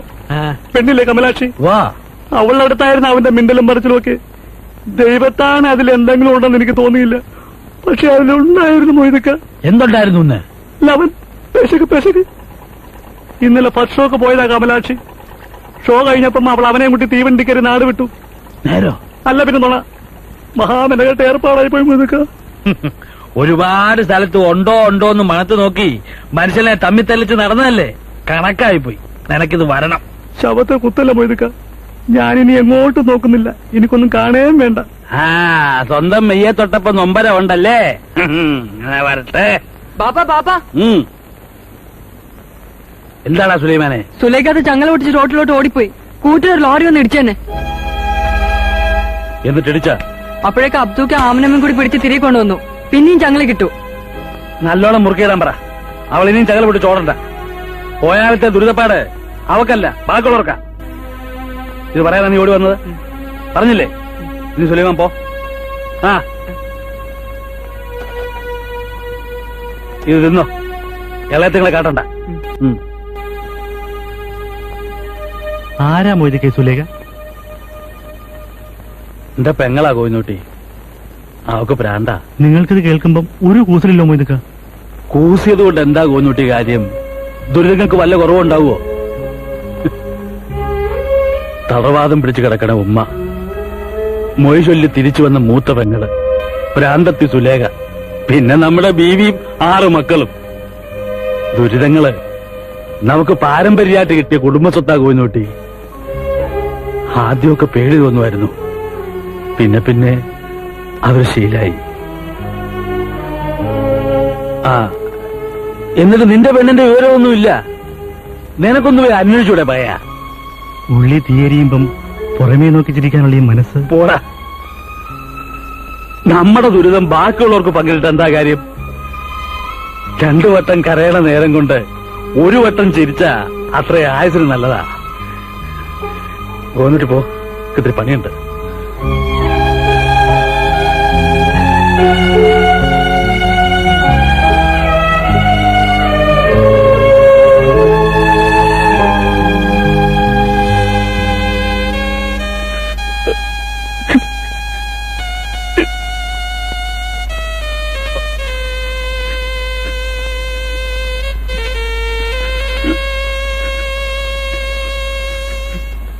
മൊയ്തുക്കാട് പെങ്ങക്ക് അസുഖം കൂടുതലാണെന്ന്. പാവം. എടുക്കാൻ വയ്യാത്ത ചുമടാണ് ഈശ്വരൻ ആ നല്ല മനുഷ്യന്റെ ചുമലിൽ ഏൽപ്പിച്ചത്. ഈ സാഹചര്യത്തിൽ മൊയ്തുക്കായെ നമ്മൾ ആശ്രയിക്കുന്നത് ശരിയല്ല. വലിയ മനസ്സുള്ളോണ്ട് മൊയ്തുക്ക അത് പറയില്ലെങ്കിലും ഞാനിന്നൊരു സ്ഥലം വരെ പോവുകയാണ്. എങ്ങോട്ട്? അപ്പച്ചൻ മരിച്ചേ പിന്നെ ഞാൻ നാട്ടിലേക്ക് പോയിട്ടില്ല. പേരിനുള്ള സ്വത്തുക്കൾ ഇളയപ്പന്റെ നോട്ടത്തിലാണ്. അത് വാങ്ങണം. മറ്റുള്ളവരെ ബുദ്ധിമുട്ടിക്കുന്നതിനേക്കാൾ നമുക്ക് അവകാശപ്പെട്ട് വാങ്ങുന്നതല്ലേ നല്ലത്? ഞാൻ നാളെ രാവിലെ ഇങ്ങി വരും.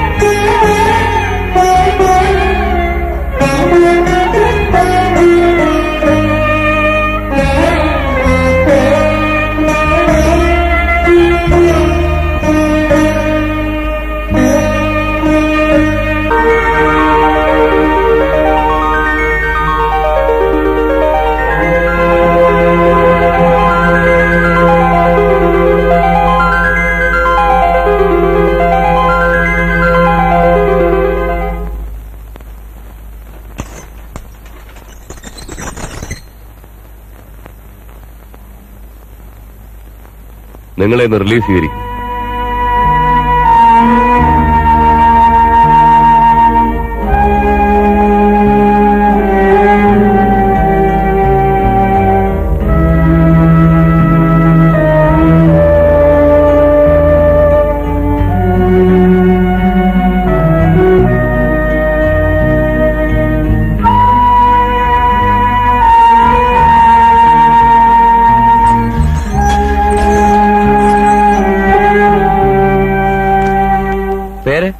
രവീന്ദ്രൻ.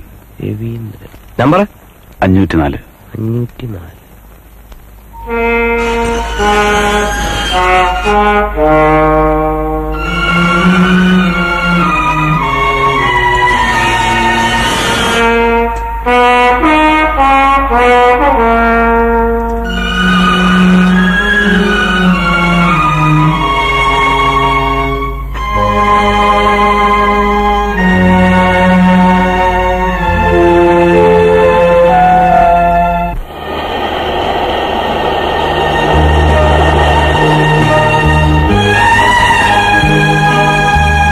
മേരിക്കുട്ടി നാട്ടിലായിരുന്നു.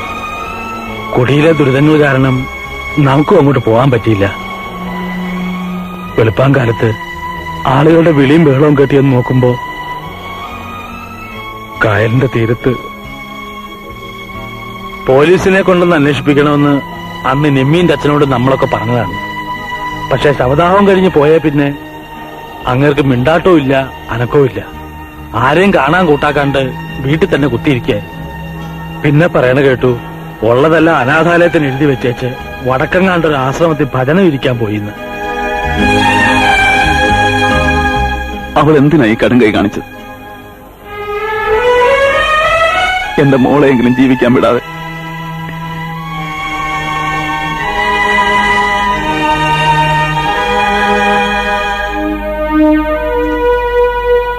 എരിയുന്ന തീക്കാത്ത് എണ്ണ ഒഴിക്കുകയാണെന്ന് വിചാരിക്കരുത്. കാരണമില്ലാണ്ടല്ല മോനെ അവർ കാര്യം ചാടിയത്. പിന്നെ? കായലിൽ ശവം പൊന്തതിന്റെ തലേന്ന് രാത്രി ആ അലക്സാണ്ടറുടെ കുരുത്തം കെട്ട മൂന്ന് മക്കൾ മേരിക്കുട്ടിന്റെ വീട്ടിലേക്ക് കയറി പോണത് കണ്ടവരുണ്ട്.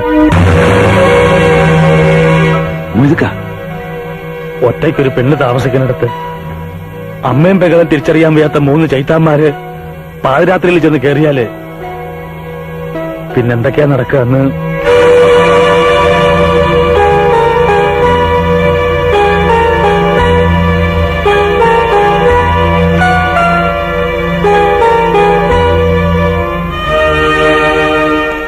മുറിയിൽ തലേണേന്റെ അടിയിൽ നിന്ന് കിട്ടിയതാ.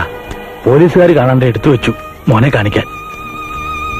എന്റെ രവേട്ടനെ പിടിച്ചു നിൽക്കാമെന്ന് വ്യാമോഹിച്ച ഞാൻ തോറ്റുപോയി രവേട്ട വിലപ്പെട്ടതെല്ലാം നഷ്ടപ്പെട്ട ഞാനിനി ജീവിച്ചിരുന്നിട്ട് എന്ത് കാര്യം? ആ അലക്സാണ്ടർ മുതലാളിയുടെ മക്കൾ.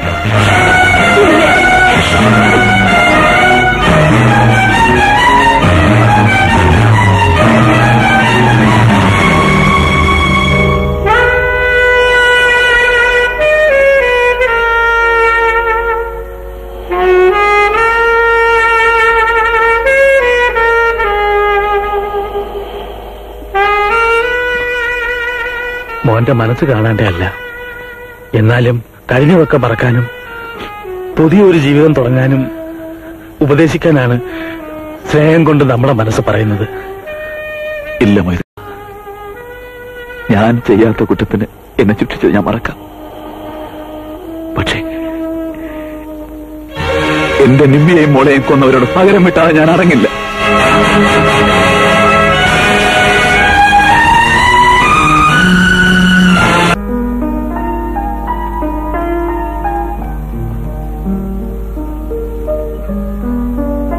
ഡേയ് ആ പെണ്ണു വരാമെന്ന് പറഞ്ഞിട്ട് കാണുന്നില്ലല്ലോ. അവളിനി പറ്റിച്ചാണോ? ഏ പറ്റിക്കൊന്നുമില്ല. നമുക്ക് പോയി അന്വേഷിച്ചാലോ? അതിനവിടെ വീടറിയണ്ടേ? അതൊക്കെ എനിക്കറിയാം അച്ചായ എന്നാ വാ നമുക്ക് പോവാം. വാടാ. ഓ ഞാനില്ല. ഒരു സ്മോൾ അടിച്ച് ഞാനിവിടെ ഇരുന്നോ? നിനക്ക് സ്മോളേ പറഞ്ഞിട്ടുള്ളൂ.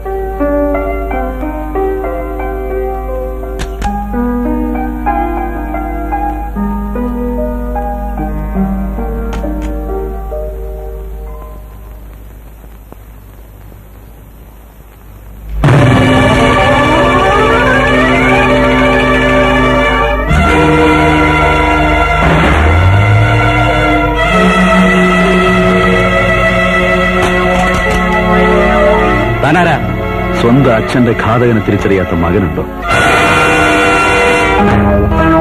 ഇനിയും മനസ്സിലായിട്ടില്ലെങ്കിൽ കായൽ തീരത്തെ ഒരു കൊച്ചു വീട്ടിൽ വെച്ച് നീയും നിന്റെ സഹോദരന്മാരും കൂടെ ചേർന്ന് നശിപ്പിച്ച എന്റെ ഭാര്യയെയും നീ കായലിലെറിഞ്ഞു കൊന്ന എന്റെ കുഞ്ഞിനെയും നീ മറന്നു കാണില്ല. അതേടാ ഞാൻ തന്നെ.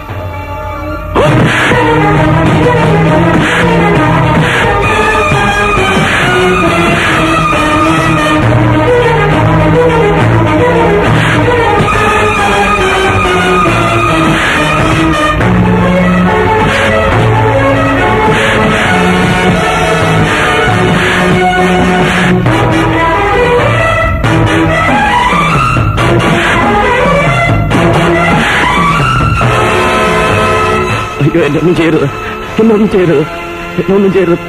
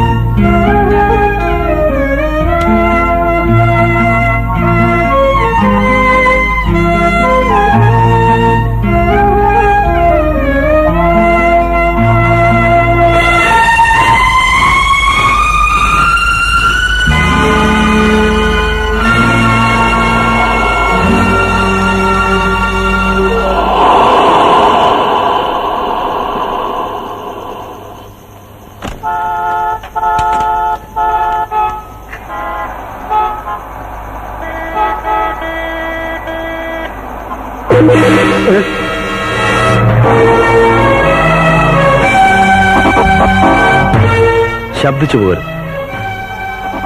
വണ്ടി നിർത്തരുത്. നേരെ എം ജി റോഡിലേക്ക് വിട്. അനങ്ങേറെ നിമിഷം നീ മരിക്കും.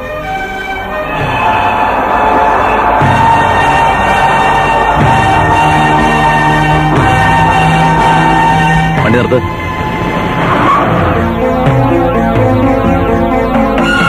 നിങ്ങൾക്ക് എന്താ വേണ്ടത്? മരിക്കുന്നതിന് മുമ്പ് ആരുടെ കൈകൊണ്ടാണ് നീ മരിക്കുന്നതെന്ന് അറിയാൻ നിനക്ക് ആഗ്രഹമുണ്ടാകും. കമോൺ തിരിഞ്ഞു നോക്ക്.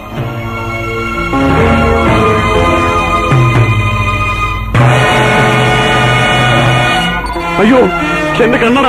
അയ്യോ എന്റെ കണ്ണട. എനിക്ക് കണ്ണ് കാണാൻ പറ്റുന്നില്ല പ്ലീസ് അയ്യോ പ്ലീസ് രവീന്ദ്ര എന്നെ ഒന്നും ചെയ്യരുത്. ഞാനൊന്നും ചെയ്തിട്ടില്ല. എന്റെ കണ്ണട തിരിച്ചു വരും രക്ഷപ്പെടാമെങ്കിൽ രക്ഷപ്പെട്ടു. ഇറങ്ങണ പുറത്ത്. ഹലോ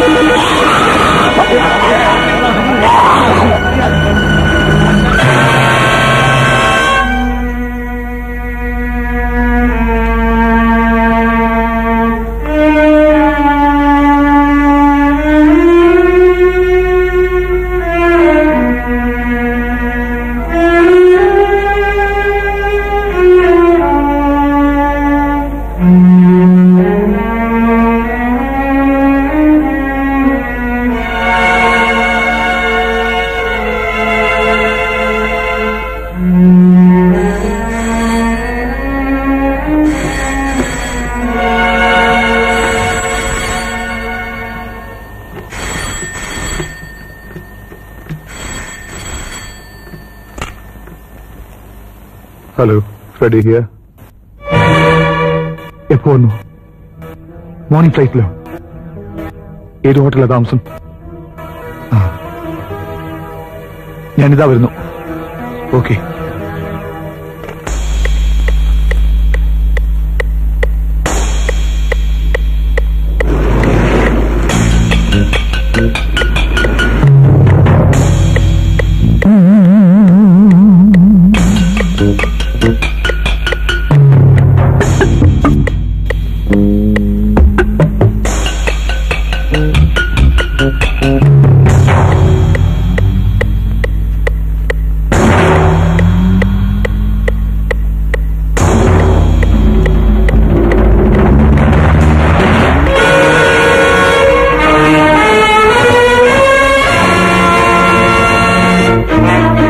ഇപ്പൊ ഇങ്ങോട്ട് വരണ്ടായിരുന്നു.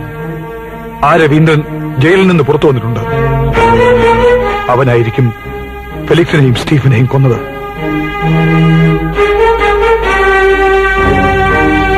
എന്റെ രണ്ടു മക്കളും കൊല്ലപ്പെട്ടു. ഇനി നീ മാത്രമേ ബാക്കിയുള്ളൂ. നീ ഒറ്റയ്ക്കൂടെ കഴിയുമ്പോ ഞാനിങ്ങനെ മനസ്സ് മാത്രം വിദേശത്ത് കഴിയും. നിന്നെ കൂട്ടിക്കൊണ്ടുപോകാനാണ് ഞാൻ വന്നത്. ഫ്ലൈറ്റിൽ കാനഡയ്ക്ക് പോണം. എനിക്ക് നിനക്കും വേറെ പേരിൽ പാസ്പോർട്ട് വിസ ഞാൻ തയ്യാറാക്കിയിട്ടുണ്ട്. എത്രയും വേഗം രക്ഷപ്പെടണം. ഓക്കെ.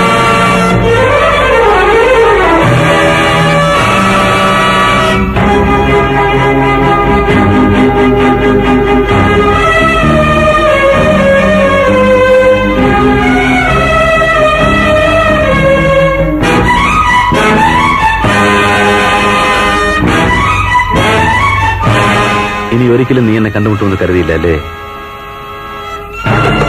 Hello hello hello. ആർക്കാണ് ഫോൺ ചെയ്യുന്നത്? പോലീസിനോ? ധൈര്യമായിട്ട് വിളിക്കും. എന്നെക്കാളേറെ നിന്നെ കാണാനായിരിക്കും അവർക്ക് താല്പര്യം. എന്താ വിളിക്കുന്നില്ലേ? എടാ. എന്റെ ഭാര്യയെ മൃഗീയമായി ബലാത്സംഗം ചെയ്ത് കൊന്ന എന്റെ കുഞ്ഞിനെ കായലിലെറിഞ്ഞു കൊന്ന നിന്റെ രണ്ടനുജന്മാരെയും ഞാൻ കൊന്നു. നിന്റെ കണക്ക് കൂടെ തീരുമ്പോൾ പകയുടെ ഒരു അധ്യായം അവസാനിക്കുമെന്ന് കരുതിയാണ് ഞാനിവിടെ വന്നത്. പക്ഷേ എന്റെ വലയിൽ തീരെ പ്രതീക്ഷിക്കാത്ത ഒരാളെ കൂടിയാണ് വീണ് കിട്ടിയത്. നീ മരിച്ചുവെന്ന് തെളിവുണ്ടാക്കി പോലീസിനെയും നിയമത്തെയും നിനക്ക് കബളിപ്പിക്കാൻ സാധിച്ചേക്കും. പക്ഷേ എന്റെ കയ്യിൽ നിന്ന് ഒരിക്കലും നിനക്ക് രക്ഷപ്പെടാൻ കഴിയില്ല. പറയും. എങ്ങനെയാണ് നീ എന്നെ കൊലയാളിയാക്കിയത്? പറയാം അത് അത് ഞാൻ പറയാം. ഈ ഭരതനിൽ നിന്നാണ് നമ്മുടെ രഹസ്യങ്ങൾ ചോർച്ചെടുത്തെന്ന് നിനക്കെങ്ങനെ അറിയാം? ഭരതനെ രവീന്ദ്രൻ കീഴടക്കുന്ന ചോദ്യം ചെയ്യുന്നു ഞാൻ നേരിട്ട് കണ്ടതാ. നിന്റെ ആ നന്ദികിട്ട ശവം എവിടെ? ചിലപ്പോ പേടിച്ചൊളിച്ചടക്കായിരിക്കും അവനെ നമുക്കൊരു പാഠം പഠിപ്പിച്ചേ മതിയോ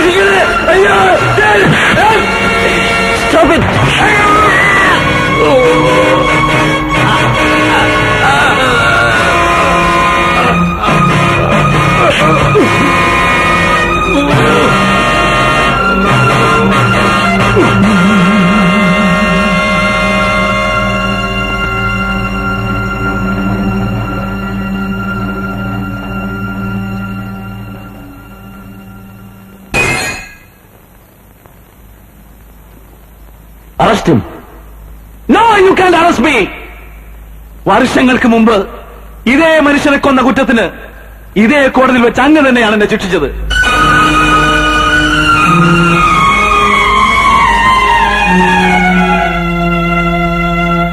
ഞാൻ തെറ്റ് ചെയ്തിട്ടില്ലെന്ന് അങ്ങയോട് നൂറ് തവണ ഞാൻ കെഞ്ചി പറഞ്ഞു. അന്നങ്ങത് ചെവിക്കൊണ്ടില്ല. തെളിവുകളെല്ലാം എനിക്കെതിരായിരുന്നു. ഇപ്പോൾ അങ്ങയുടെ മുന്നിൽ വെച്ച് നിങ്ങളുടെ എല്ലാവരുടെയും മുന്നിൽ വെച്ച് ഈ മനുഷ്യനെ ഞാൻ കൊന്നു. ഏത് നിയമം വെച്ച് നിങ്ങളെ അറസ്റ്റ് ചെയ്യും? ഒരു മനുഷ്യനെ കൊന്ന കുറ്റത്തിന് രണ്ട് തവണ ഒരാളെ ശിക്ഷിക്കാൻ നിങ്ങളുടെ നിയമത്തിന് കഴിയുമോ? Can the law cash me again for the same crime for which have submit nine long years in the jail രാജ്യത്തിന് വേണ്ടി സേവനമനുഷ്ഠിച്ച കർത്തവ്യനിരത ഒരു കസ്റ്റംസ് ഓഫീസറായിരുന്നു ഞാൻ. രാജ്യദ്രോഹികൾ വേട്ടയാടിയ എന്റെ ഈ വെളുത്ത കുപ്പായത്തിൽ തങ്കപ്പണക്കം അണിയിക്കേണ്ടതിന് പകരം നിങ്ങളുടെ നിയമം എന്നെ കുറ്റവാളി എന്ന് മുദ്രകുത്തി. നിയമം ചിലപ്പോൾ എന്നെ വെറുതെ വിട്ടേക്കാം. പക്ഷേ നഷ്ടപ്പെട്ടു പോയ എന്റെ ഒമ്പത് വർഷങ്ങൾ നിങ്ങളുടെ നിയമത്തിന് തിരിച്ചു തരാൻ കഴിയുമോ എന്റെ യൗവനം എന്റെ ഭാര്യ എന്റെ കുഞ്ഞ് എന്റെ ജീവിതം എന്റെ എല്ലാം Can you give me back?